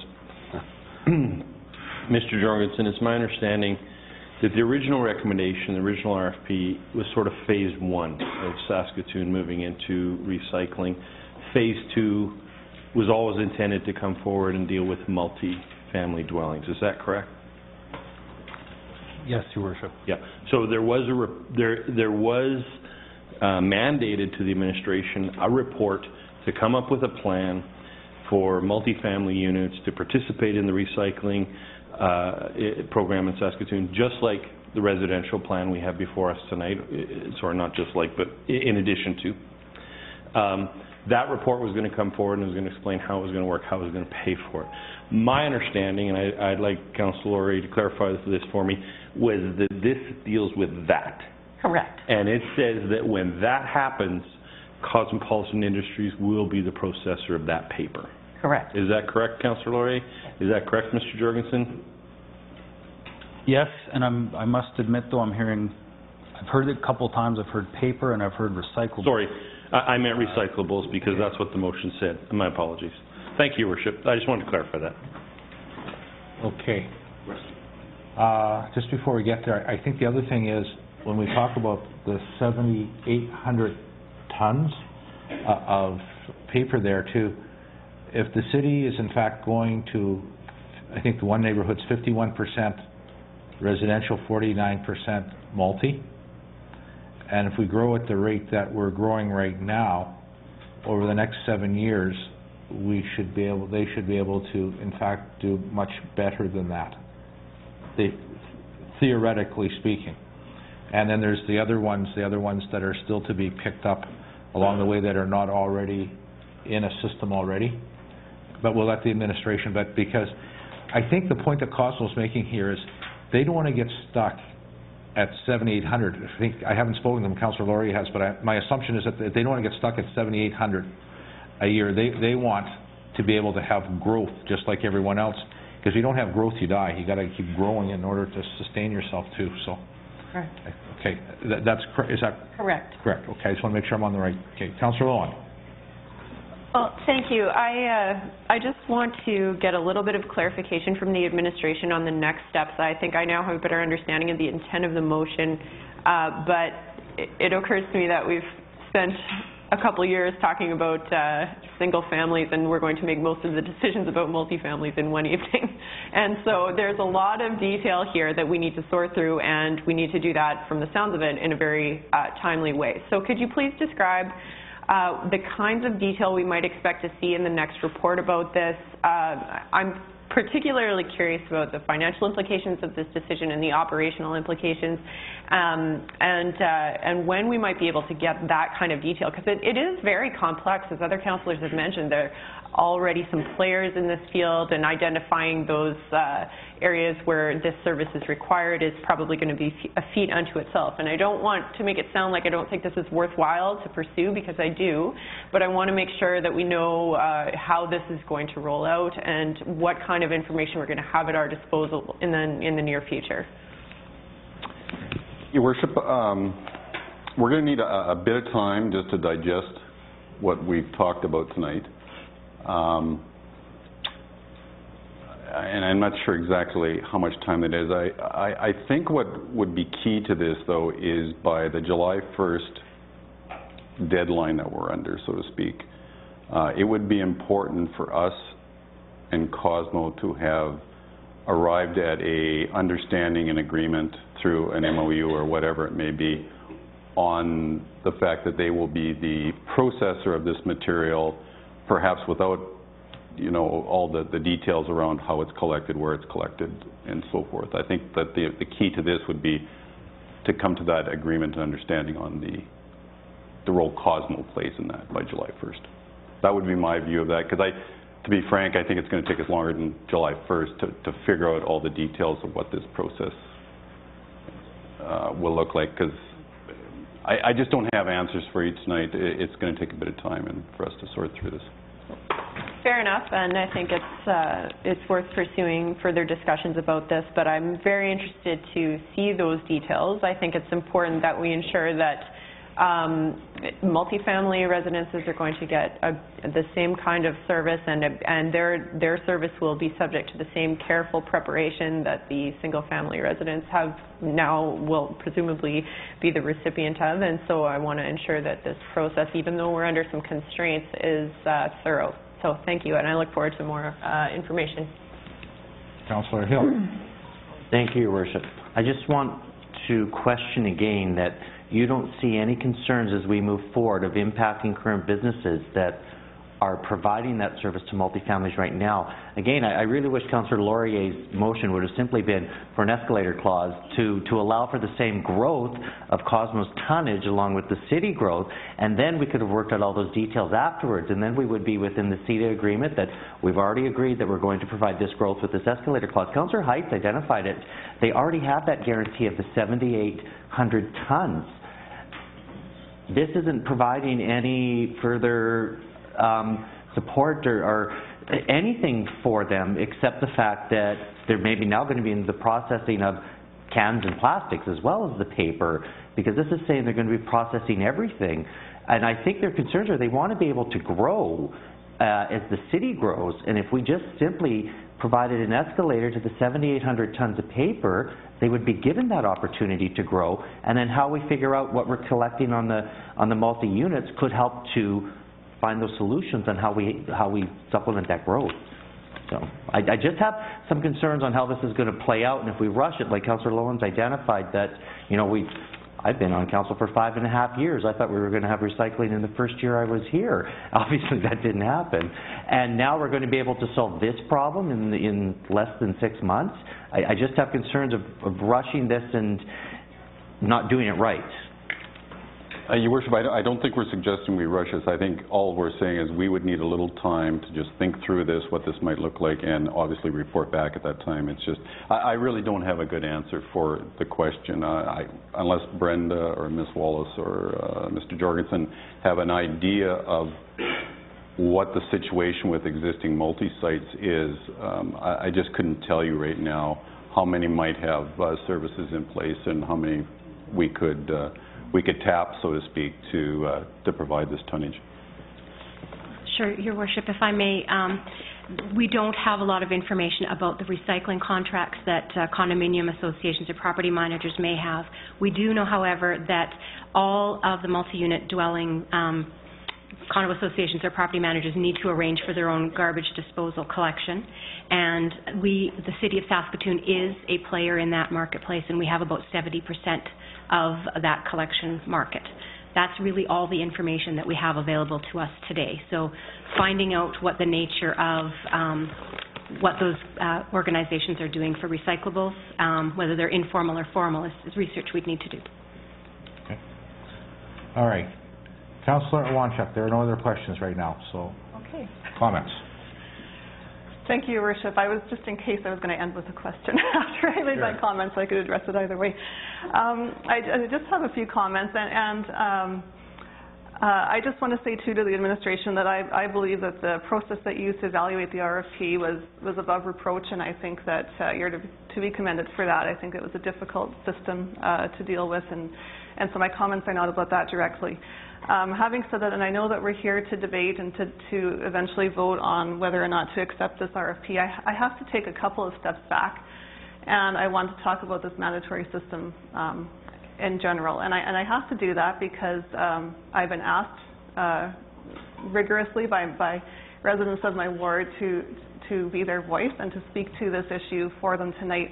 And they have addressed concerns about mandatory recycling in general. Um, uh, part of the concern is, is the fee that's going to be imposed upon them. Part of it is not having room for a bin, uh, an extra bin in their yard. Another uh, concern that they have is that they already do recycling. A lot of them support Cosmo Industries. Some of them already have their, their or the opportunity to have a blue box system is already there, offered um, very successfully by the private sector. And so they don't see that it's a gain to have this as a mandatory system. So I guess having said that, the cost to not having a system is greater than the cost of having a system. If we, if we uh, continue to fill our landfill, that's going to be a, a bigger problem, and we need to, to develop a new landfill. So I guess I'm in a bit of a conundrum about that uh, because I, I am told often loud and clear that they don't want this system. So I guess having said that, I'm, I'm wondering why we're calling it a mandatory system. You can't force somebody to recycle, just like we can't force somebody to take the bus. We can't force anybody to use the leisure facilities or to go golfing at our facilities. We just we can't force them to do that. I would rather see it called a service that's being offered. Uh, part of the problem, I think, is that we have made this a system that will be um, offered as a utility bill as opposed to our taxes, which, which happens with all of our other services as tax.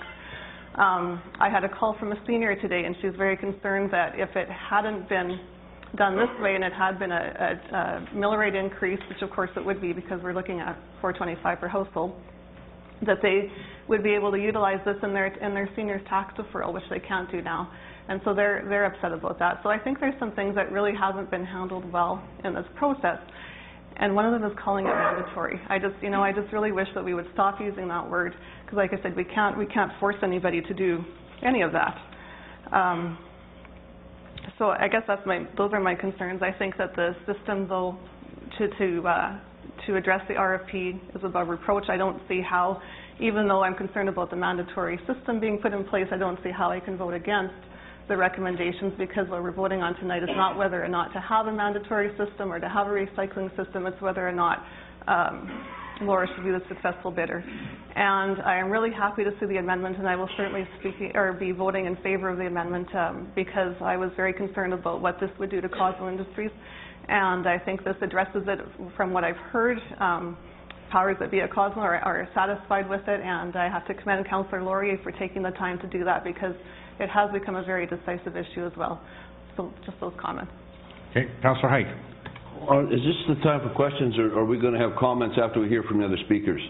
No, no, we're going to vote, no, this is On all, on all three? all three. Oh, oh, well, then I'll, I'll make mine then, and then that'll be it, and I'll listen to the speakers. Uh, I, I, my, my comments, uh, uh,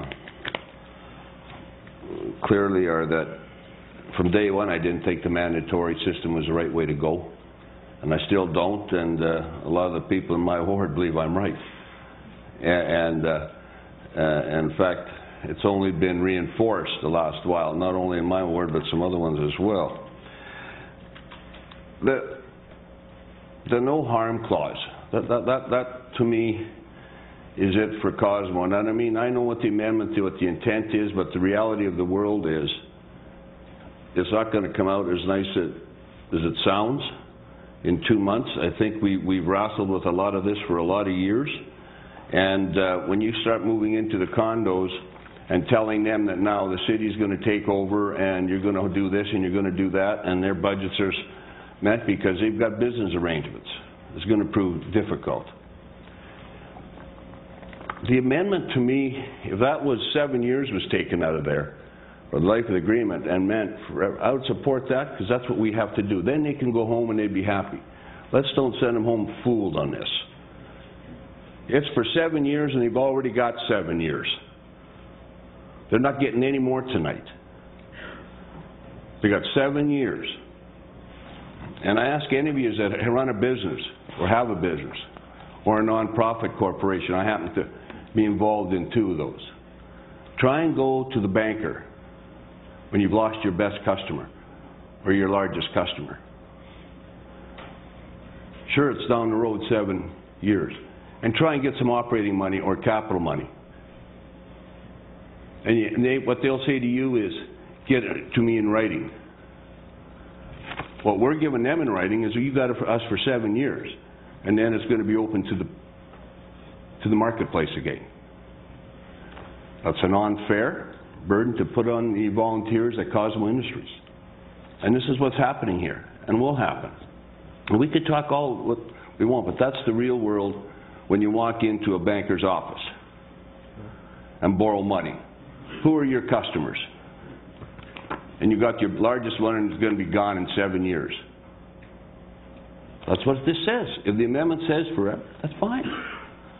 Then they have something, they can go to the bank and say, yeah, we- we're guaranteed that. There's no guarantees here.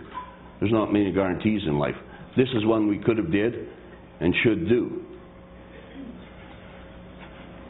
I, I cannot support these. I, I, I do recycling. There's a lot of people that do recycling. And, and the man, the thing the calls that are saying, I've been recycling for 30 years.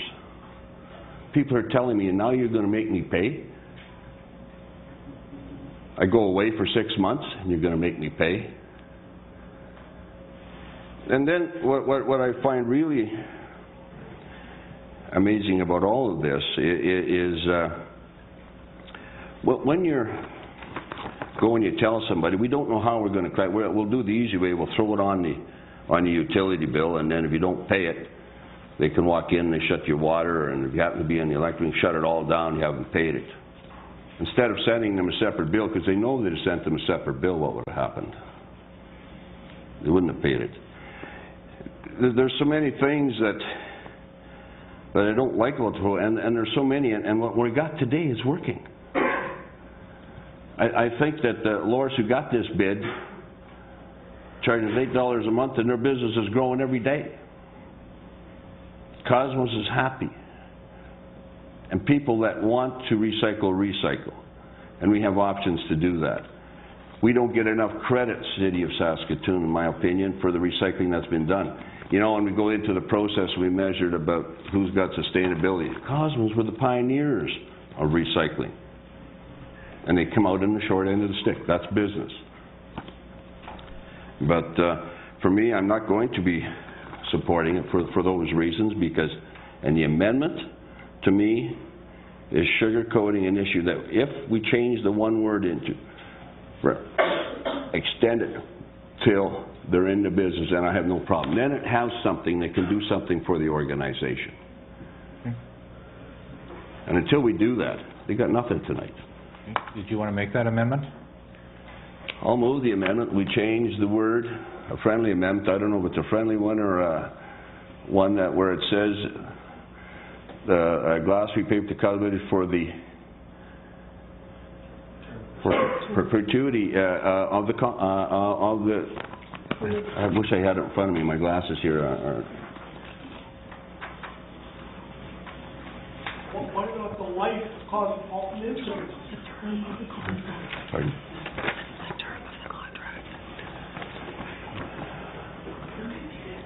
Well, I'll, I'll, I'll move then, be it resolved that the city, enter- eh, no, in a second here.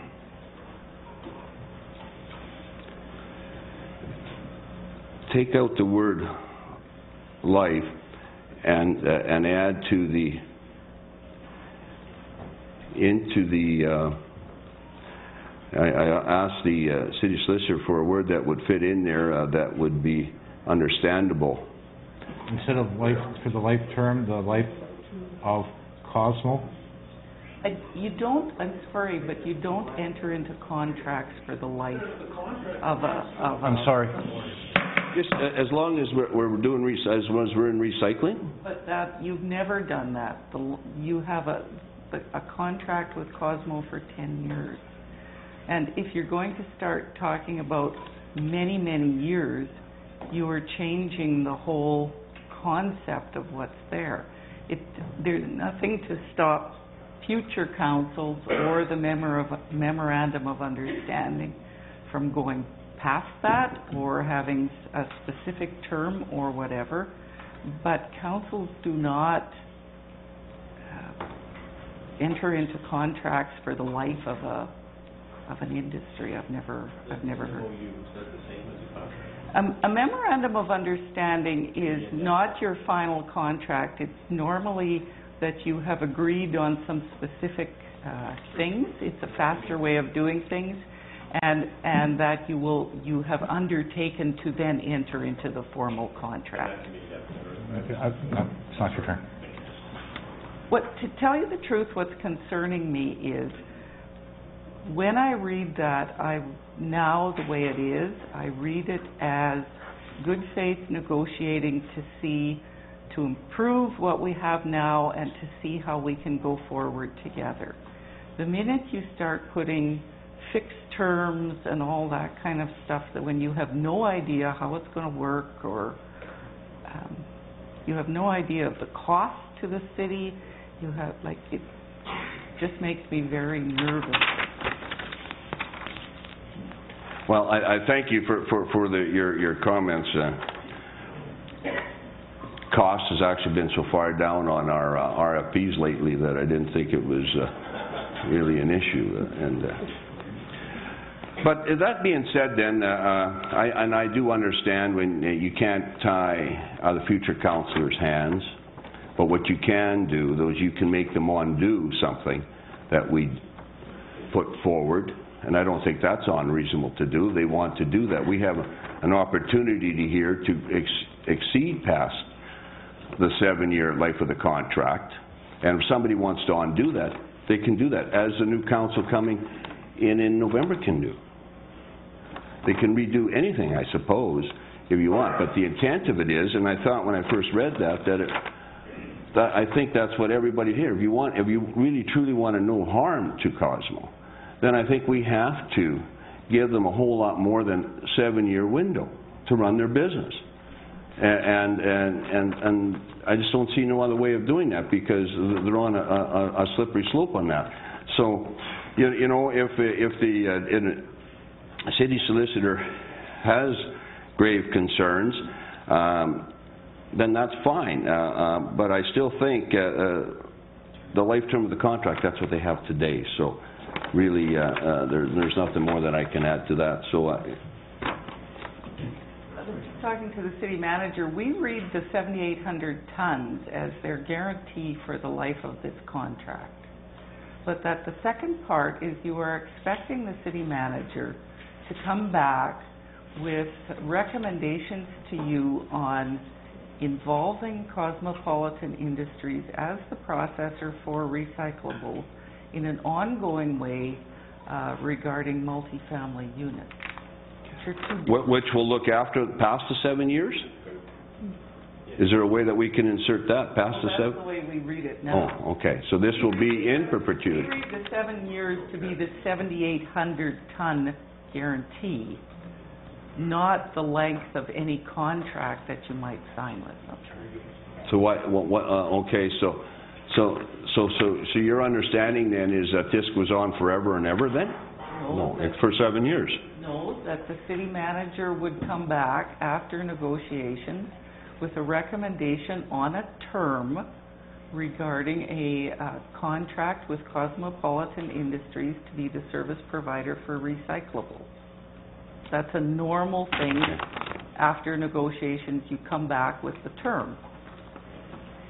Okay, well, okay then, I, I got what you're, uh, if that's what the meaning is then, and, uh, then the, the, the true meaning of spirit of trust and comprehensiveness will, will, will, will bear out in, in, in the report from the administration then, so. I, I will, uh, listen to further, or we will get on with the vote. Uh, Madam City Clerk, you said you had your hands waving here. Your worship, I was just wondering whether, I know from my perspective it would be a little bit easier, and I'm just going to put it out there, whether we separated them into two separate ones, and the first one, it would be number one, uh, regarding the 7,800 tons a- annually uh, under the term of the contract, and then where that semicolon is, about four lines up, that then that be, and two, that the administration report further by the end of June um, r- regarding the entry into a MOU regarding that. I just wonder whether that helps, the fact that they're separate, or whether it doesn't add anything Uh, uh, to it. We'll ask Councillor Lorje, because it's her motion, not anyone else's. Well, it's my motion and a motion that has been endlessly discussed in various combinations and permutations all day with uh, very esteemed members of the Cosmopolitan Industries Board, and that's why the uh, the phrase "life term of the contract" is in there, uh, because we do have an existing contract. I think if it makes more sense to have it a two-part motion, I will certainly mm, uh, amend my amendment that it be a two-part motion, the not less than 7,800 tons for the balance of the contract, which implies that there is, as Councillor Hill wisely pointed out, an escalator clause. I wish you guys had all been with me when I was trying to offer a compromise today. I mean, I have to say, you're all very brilliant in your suggestions, but I was out there on my own. So, Uh, And then secondly, that the second part would be, and the intention is that by no later than July 1st, we will discuss the intention of the city of Saskatoon entering into an MOU with Cosmopolitan Industries in order to be the service provider for recyclables generated from multifamily units, as we can, because we know there are certain impediments, but we can look at the negatives all we want, folks. The point is, we've got to find a way to move forward as a city. And that's what the intent of this motion is. That's why Cosmopolitan Industries was willing to extend an olive branch, and I'm just suggesting now the city do the same thing. Uh, Councillor Lorje, I appreciate your July the 1st, but July the 1st doesn't work either. June 30th. No, I think what we should, what we need, no, what we need to say, we need to say earlier, I think it needs to be the first council meeting in June. Because Fine, then, Your because Worship, then I we... don't have the schedule No, in no, front of me. Whenever the first Yeah. meeting in June is, because Yeah. if it comes back here and there's not consensus yet, we need to be able to do it and to, in fact, say to everyone, at the 11th hour on June the 30th, you're going to start negotiating this stuff and get down to the nitty-gritty, it's too late. Okay. So do we report back by June 18th? Okay? Well, if it's June, if it's June the 18th, it is then that we will have this settled. Okay, yes. Uh, Your Worship, the city manager was suggesting that the initial report come on May 28th. May And 28th. then that does give council that time to, I think that's even better. I'm glad to see he's moving so quickly already. Councillor Penner, you had a comment. I just, no, your worship, I was just calling the question. You're calling the question. Okay, are there any other comments right now? I guess, in fact, what we're doing here tonight is attempting, I say attempting, to make sure that Cosmo Industries carries on as it has in the past. And we need to have this thing back here in May. We need to get this thing put to, to rest as quickly as possible. The people at Cosmo Industries, the people there have no idea what's going on tonight at all. I'm talking about the, the, the people that are working inside the facility. Those people have no idea. They come, they come every day with a smile on their face. They think the world's great. The people that are here tonight are the people here that are concerned for them and want to make sure that they're looked after into the future. And so I appreciate what Councillor Lorje has done already uh, on her own, um, talking with Cosmo Industries today. I am trustworthy and hopeful that we in fact are going to get to the final solution for the, for Cosmo Industries uh, on this. I want us to make sure that this is a, a great program for them too. When I think about it, they are the originators of recycled newsprint, the finest newsprint in North America. The only newsprint that has been sought after when no one else would take newsprint Saskatoon's Cosmo Industries were able to still sell theirs to five different mills in North America. I think they're doing a great job. They are doing wonderful things in our community. I want them to be here forever. And I think that the people behind Cosmo Industries, the volunteers and the workforce are doing a phenomenal job. And so we're going to vote on this with the intention that we're going to be back here on May the 28th with no later than June the 18th having this all wrapped up, so that there's no legal implications or anything else down the road.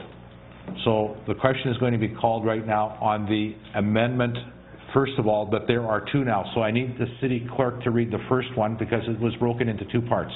And before we do that, I need to ask Councillor Donauer if he's prepared to second that. be- Okay, all right. Your Worship, um, one, that the city honor its no harm clause to Cosmopolitan Industries by continuing to provide no less than seventy hundred tons of on-site glass-free paper annually, we're going to insert annually, uh, to Cosmopolitan Industries for the life term of this contract by entering into formal discussions and negotiations for such paper to be sourced from a combination of paper from multifamily residents, paper available at the existing depots and the city's own operationally generated recyclable waste paper. And two, that the administration Okay, let's, well, why don't we just stop with that one first, okay? Let's vote, let's don't, because we'll get them both here, okay. So it's been moved and seconded. All those in favor, please, show of hands. Okay, that carries. And two, that the administration report to City Council by May 28 regarding the entering into of a memorandum of understanding with Cosmopolitan Industries to be the service provider for recyclables generated from multifamily units. Okay. Councillor Clark. I just wonder, because of this uncertainty, i- if we change the word be the service provider to be a service provider, then at least we can have a little bit, well, this is this question of are we going to go in and force uh, apartments and, and, uh, and I, know- I, I hate raising this at this point and I don't want to, I, I mean, I really appreciate the intention of this, but I also don't want us to pass something that we don't totally know the implications of. And so, um, and I don't quite understand the impact of that word "the" in, in this case when I, when I look at it again. So I want to just make sure that we have a chance at least to go out to the business community and the, and the people who live in these and let, you know, let them know what we're thinking about at least before we just say, okay, without any discussion, consultation, or anything, we've made this decision. Because I totally agree with the spirit of, of clarifying how are we going to get this 700, 7,800 tons, making it much more tangible for people so that it's not a big question. I get all that, uh, but I, I just, I'm just still, not, I want to make sure that we're not uh, going somewhere that we, we uh, aren't clear on what we're doing here. Solomon?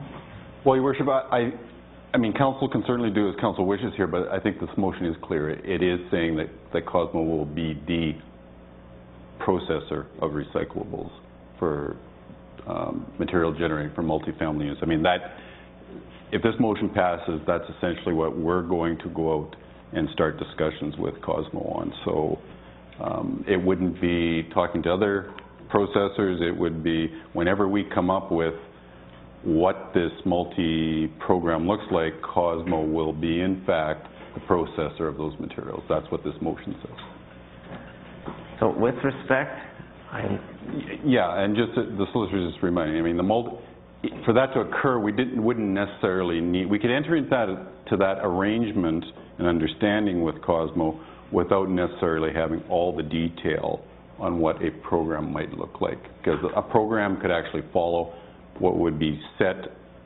up front is that Cosmo would be in fact the provider or the processor of that material. That's what this motion says.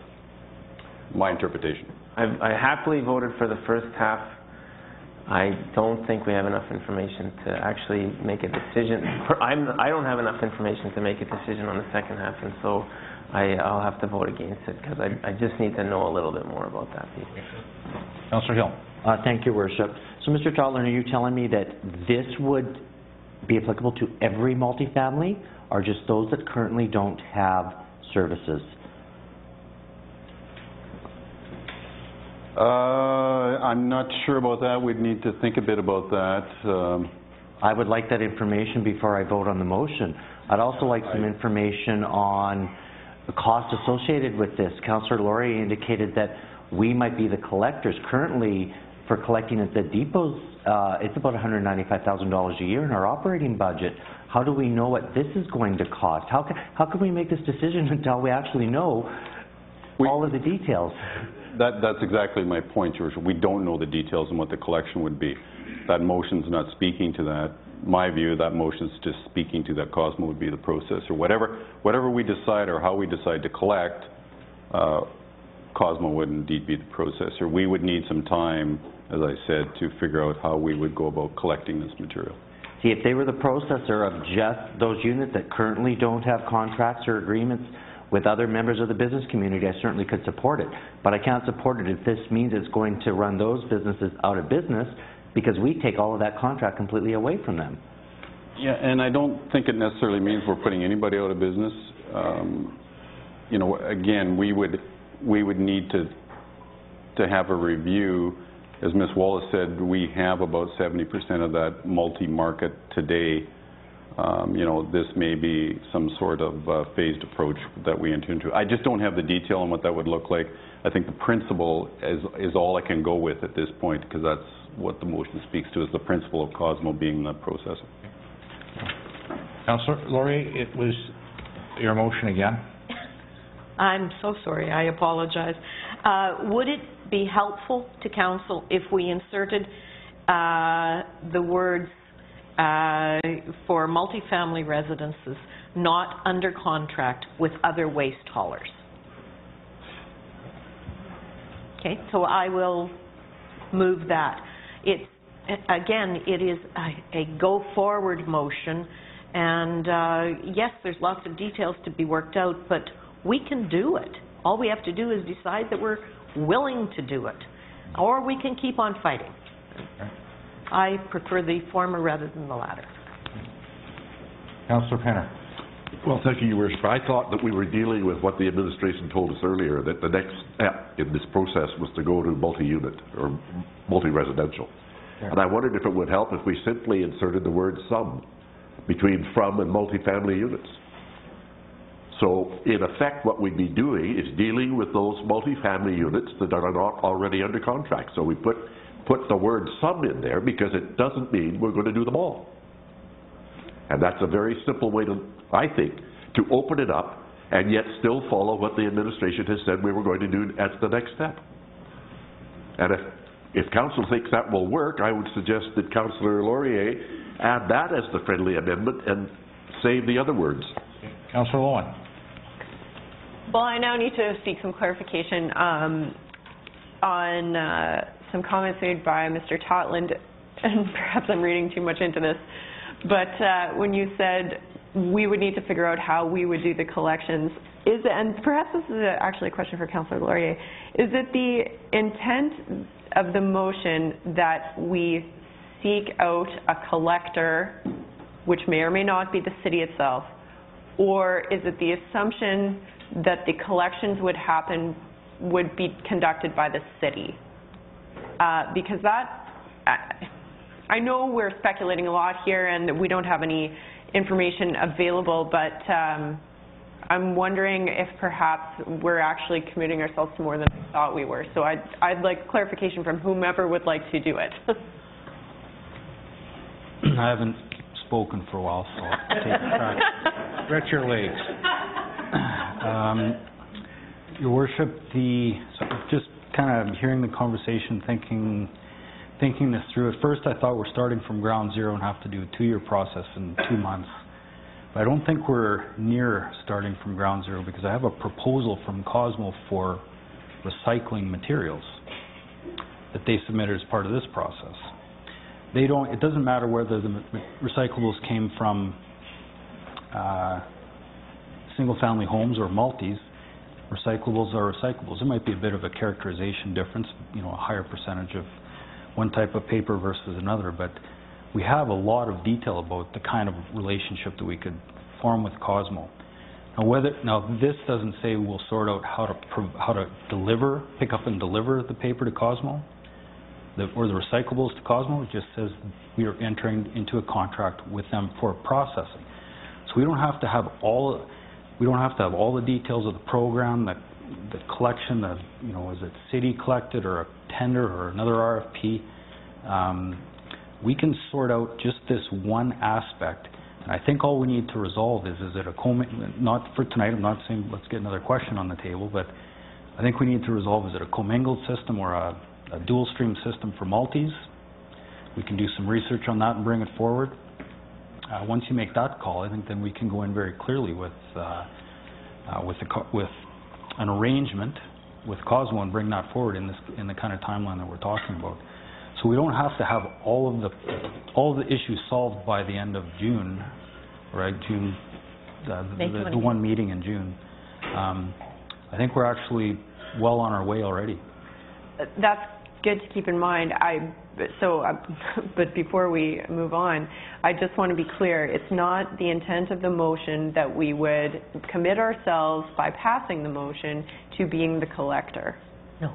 Okay, that's all I needed, that's good. Cosmo may not want the city to be the collector Well, after it- this. Well, eh, fair enough. I just don't, I don't uh, want to commit to any more steps of this process tonight than we need to.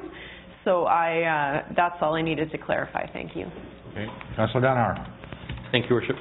Mr. Jorgensen, I'm sorry, we're actually, you're coming to us with a, a proposal for multis anyways, aren't you? And would that, like, there keeps being all these questions about, um, people who have existing recycling contracts, uh, sorry, condo associations and apartments. How would that factor into the proposal that would be coming from the administration if we just ignored this and put it on hold for a second? Well, it- my first thought is, you know, the first step is the city solicitor to see what kind of details we would need to have in place to clear the hurdle of having an appropriate contract in place before July 1st. That's one of the things I need to know, how far to go with details. Next step would be to, to start the discussion with Cosmopolitan Industries to see what their interests are and Sorry, what can our I interests are. interrupt for a second? Yeah, I think I got the wrong question communicated. okay. I'm saying, let's ignore this for a second, and I'm not talking about an agreement.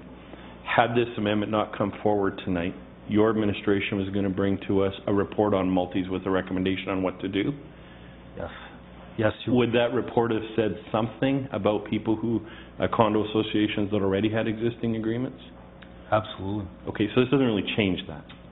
And this still gives you the flexibility to do what you were gonna do? I agree. Right, Thank you. Question there. Councillor Hill? Uh, Thank you, Worship. And if uh, Councillor uh, Lorje uh, will accept the uh, friendly suggestion from Councillor Penner about the insertion of the word "some," I am prepared to second that amendment. And then I would be comfortable moving forward with this, and I would look forward to recommendations from Cosmo's Board of Directors, because I see this merging and developing into something even more exciting and interesting for Cosmo, that all of these multi-units then would have a choice for who would be their collectors. If Cosmo chose to create their own program in terms of collection and provide some other programming opportunities for their participants, that exists. So it's exciting to see that this also opens up some more doors for Cosmo, and I'd like to have those discussions with them. So if Councillor Lorje is in favor of the insertion of the word "some," I will second that amendment. Yes, Madam City Clerk. Your worship, I just need to confirm, though, is that also keeping, though, the not included, uh, not under contract with other waste haulers? So because I think- take that out. Okay. No, uh, Well, uh, okay, uh, before we call the question here, I, I need to he- hear what this is then.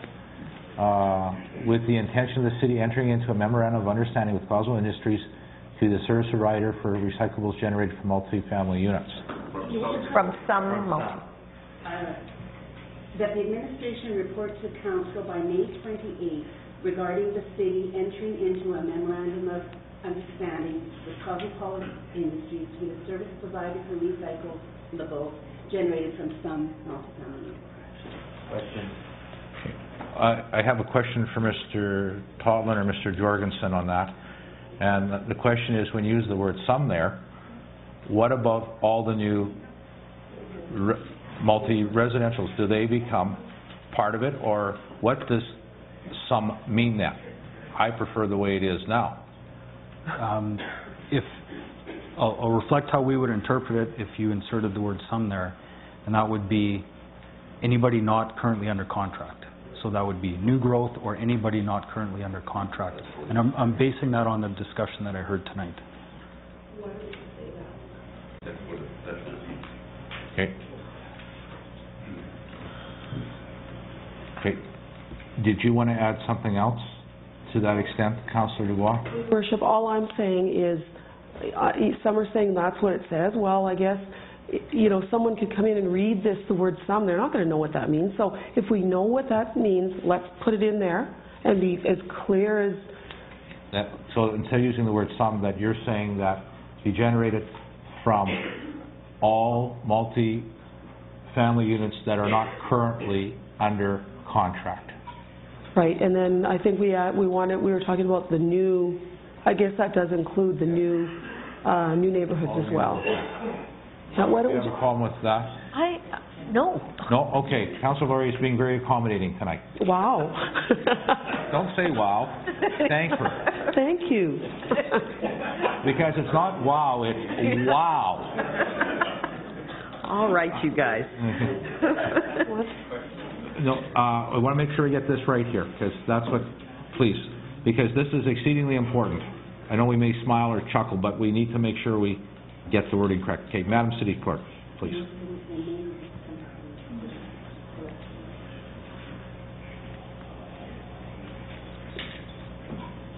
Um, I'm concerned that you are fixing your program in advance by saying that all new multifamily units would have Cosmopolitan Industries as the processor without a debate, because you're cutting out all of the private sector. We just did that with Loraas. Pardon? We just did that with Loraas. They get all the new homes in the city. No, but that was after an RFP and a process. You don't know what you're going to do, um, because you haven't had a process, you haven't had any debate on it. What if you changed it to, with the intention of the city entering into a memorandum of understanding with Cosmopolitan to be the processor, because it's not just the service provider, I think, or you can leave that, that's up to you, for recyclables generated by a city program from multifamily units. And then whatever that city program is, Yeah. Okay. All right, then that's what we'll put in there. it might be all the new ones, it might be all the, it might Okay. be anything. All right. I'll drink to that. Okay. Question. The city clerk, have you got this down? Okay. Madam City Clerk, can you read this off? It sounds like we have agreement here. kind of a two, three-fisted thing here.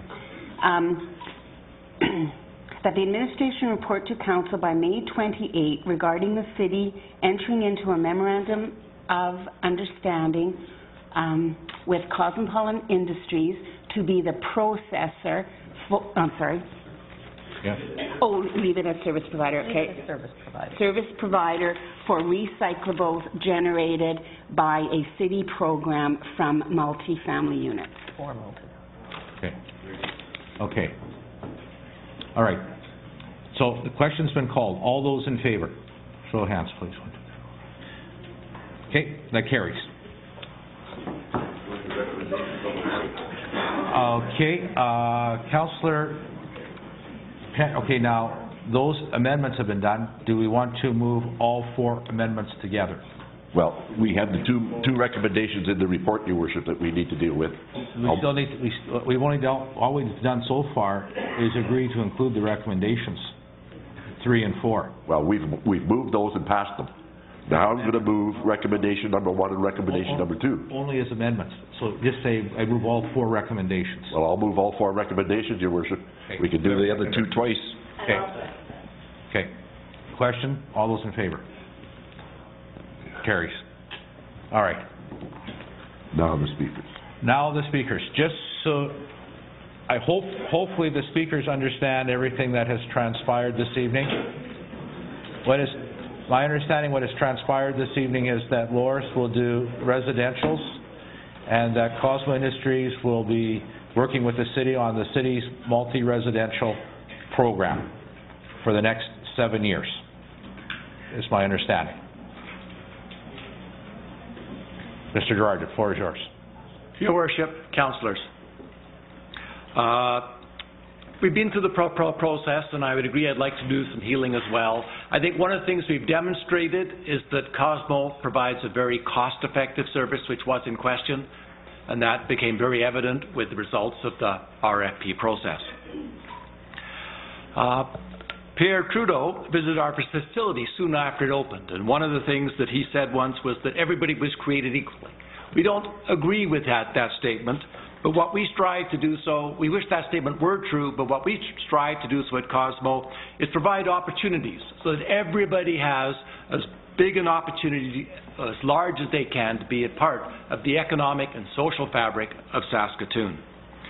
The council res- resolution tonight we're very, we're happy and we're, we're working in good faith. We allow it, we appreciate the fact that it supports those uh, with a disability. We appreciate the fact it allows them to grow with the city as the city grows too. Uh, we thank you for building this into your no harm no harm to Cosmo policy. At this time, I would just like to thank, although they're not here, Waste Management Emterra for having the faith to uh, bid with us in the RFP process.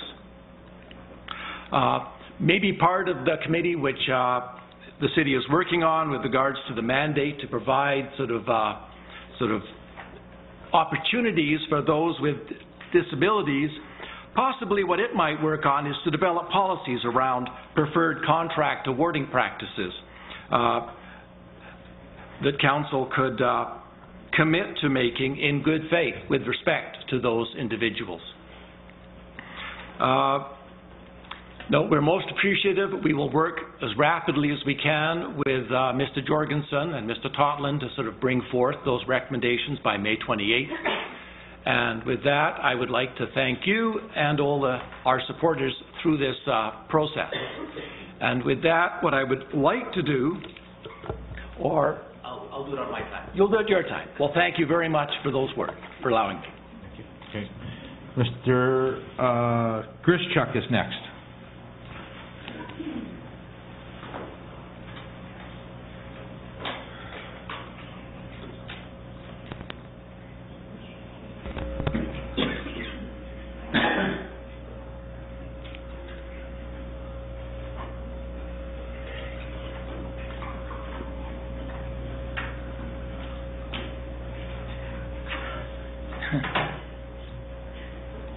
You're gonna help me find this, right? That five minutes is going pretty quick here. I know, I know. But look at it this way, I have a three-minute presentation rather than a five-minute speech. You're getting off by two minutes. Whatever you say.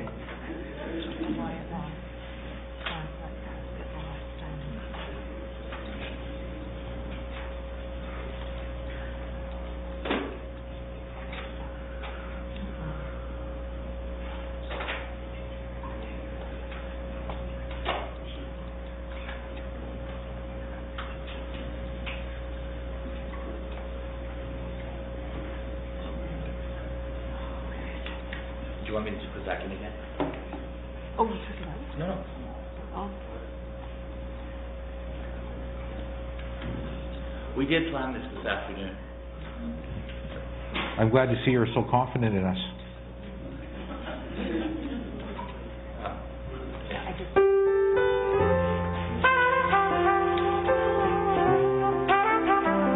What I'd like to do in the next three minutes is to play something which is um, about Cosmo and about the people you just helped tonight, and all of the people that were behind the uh, sheepdogs. Put this together.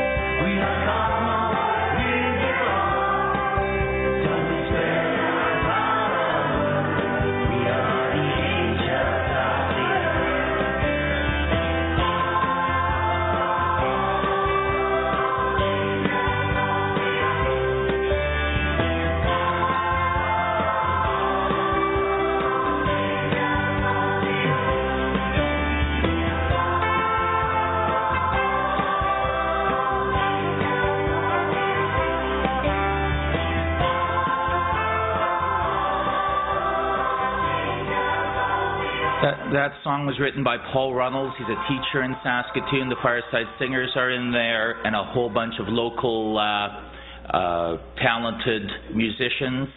And we would like to thank from Cosmo for all of you for being paper angels for us, for supporting us in our recycling.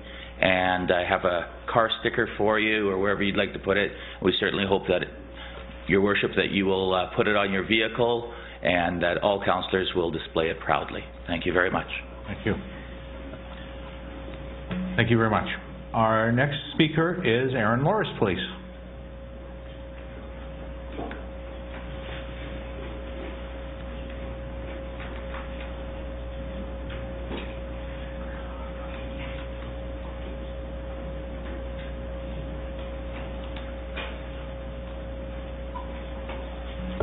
Thank you, Your Worship. In, in light of the events that have uh, transpired tonight, uh, I'm, I have no comments. Thank you. Thank you. Thank you. Thank you very much. Okay, that being said, uh, we can now move on. If, I don't know, if th- this item, this item on the agenda is now complete. I don't know if you wish to leave or not. If you do, uh, this would be an appropriate time, and we'll just wait a minute while you exit.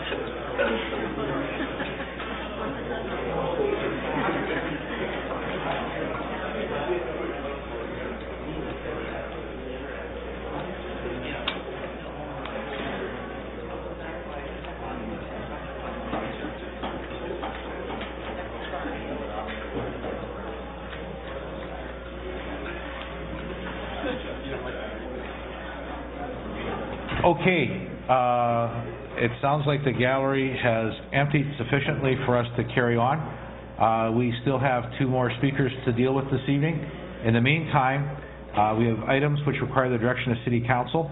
The first item is on the poetry challenge, and uh, the recommendation is that information be received. Moved by Councilor Cran, second by Councilor Dubois. All those in favor, that carries. Next is submitting revised 2012 membership invoice. This is for the city of Saskatoon. This is a, a bill that we have to pay. Who wants to move that?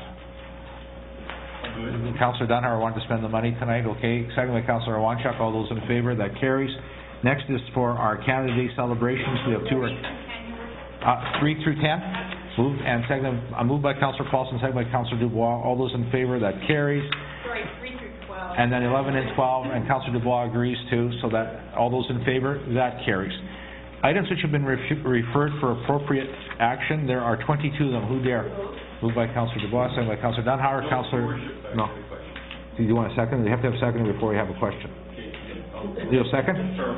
Okay, then you can have a question. Thank you very much.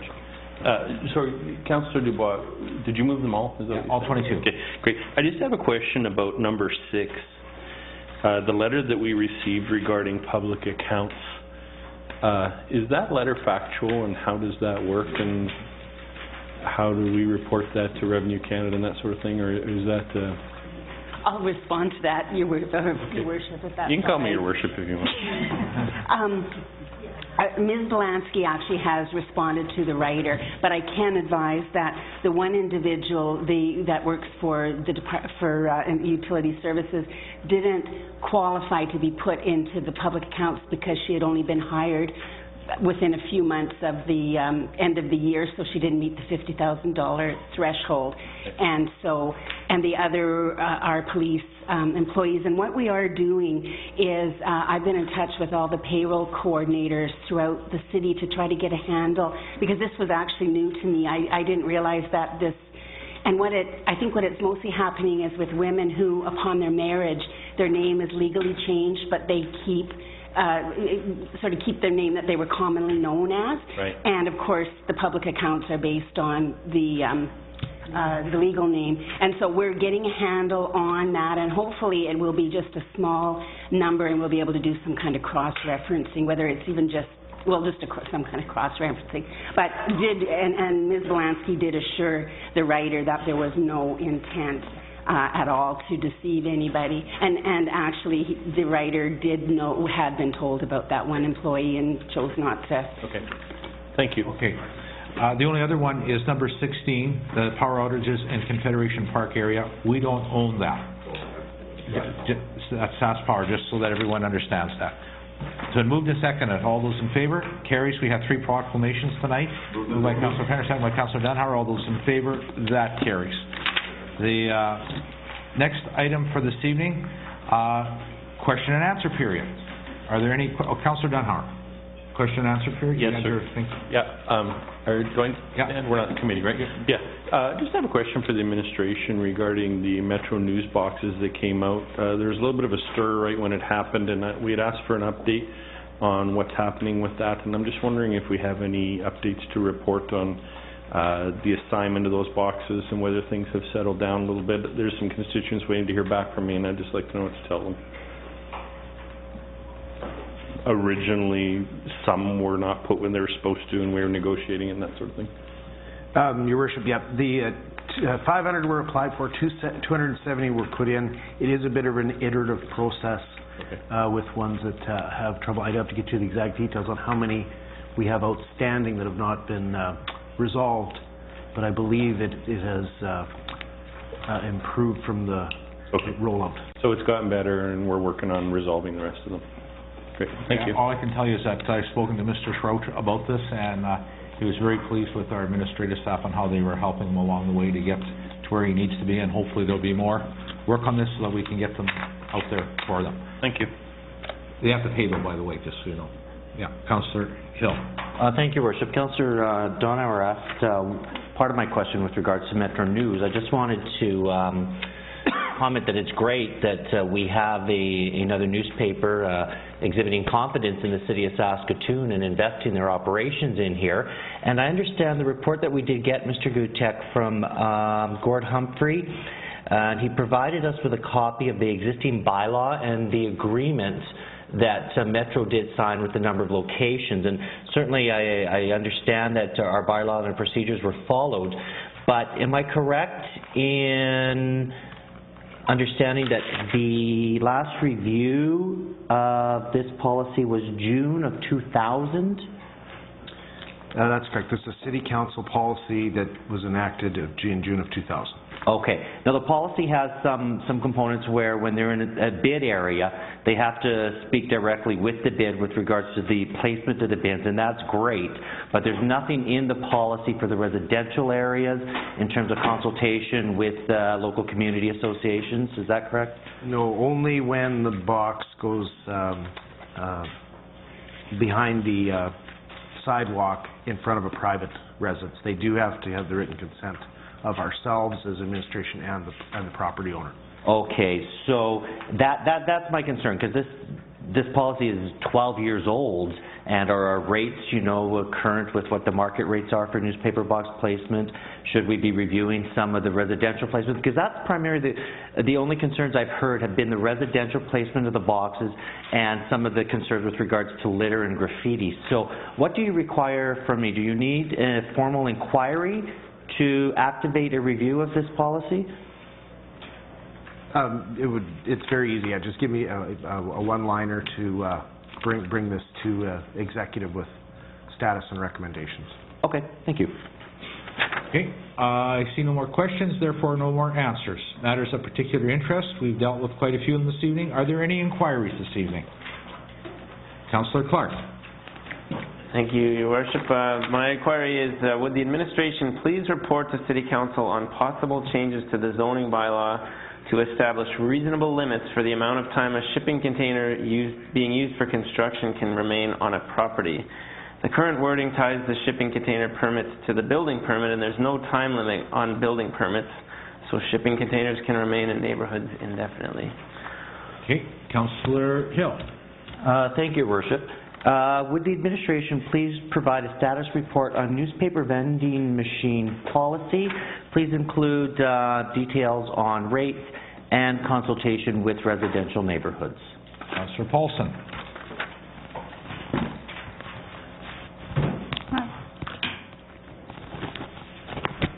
Could the administration please report on the possibility of creating a food truck policy? Amongst their, uh, other things, if the administration is going to create a policy allowing for food trucks, please consider not allowing trucks to park in residential areas overnight.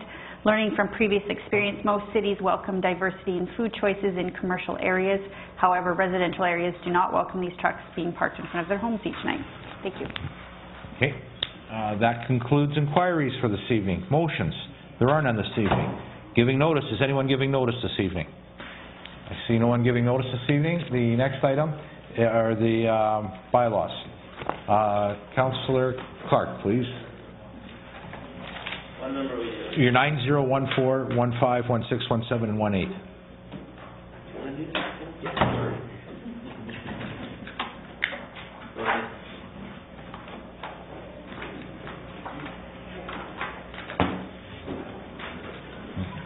1914 through 1918, 14, 15, 16, 17, and 18.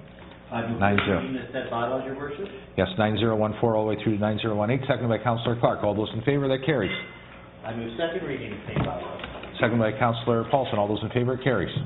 I move the council go into committee. Seconded by Councilor Lorje. All those in favor, carries. Move the committee rise. Agreed? I Carries. move adoption of the committee's report. Seconded by Councilor Loewen. All those in favor, that carries. I move permission for third reading. Second by Councillor Heidt. All those in favor? This must be unanimous. Yes, okay, okay, that carries.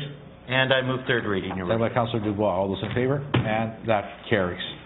Our next item this evening are communications to council. Our first, our, our speakers right now will be Marion, uh, Mutala, I hope, and Wes Funk. Yes, uh, apologies to Wes, he had to leave. Uh, He did. Yes, he was here though, and that. I think you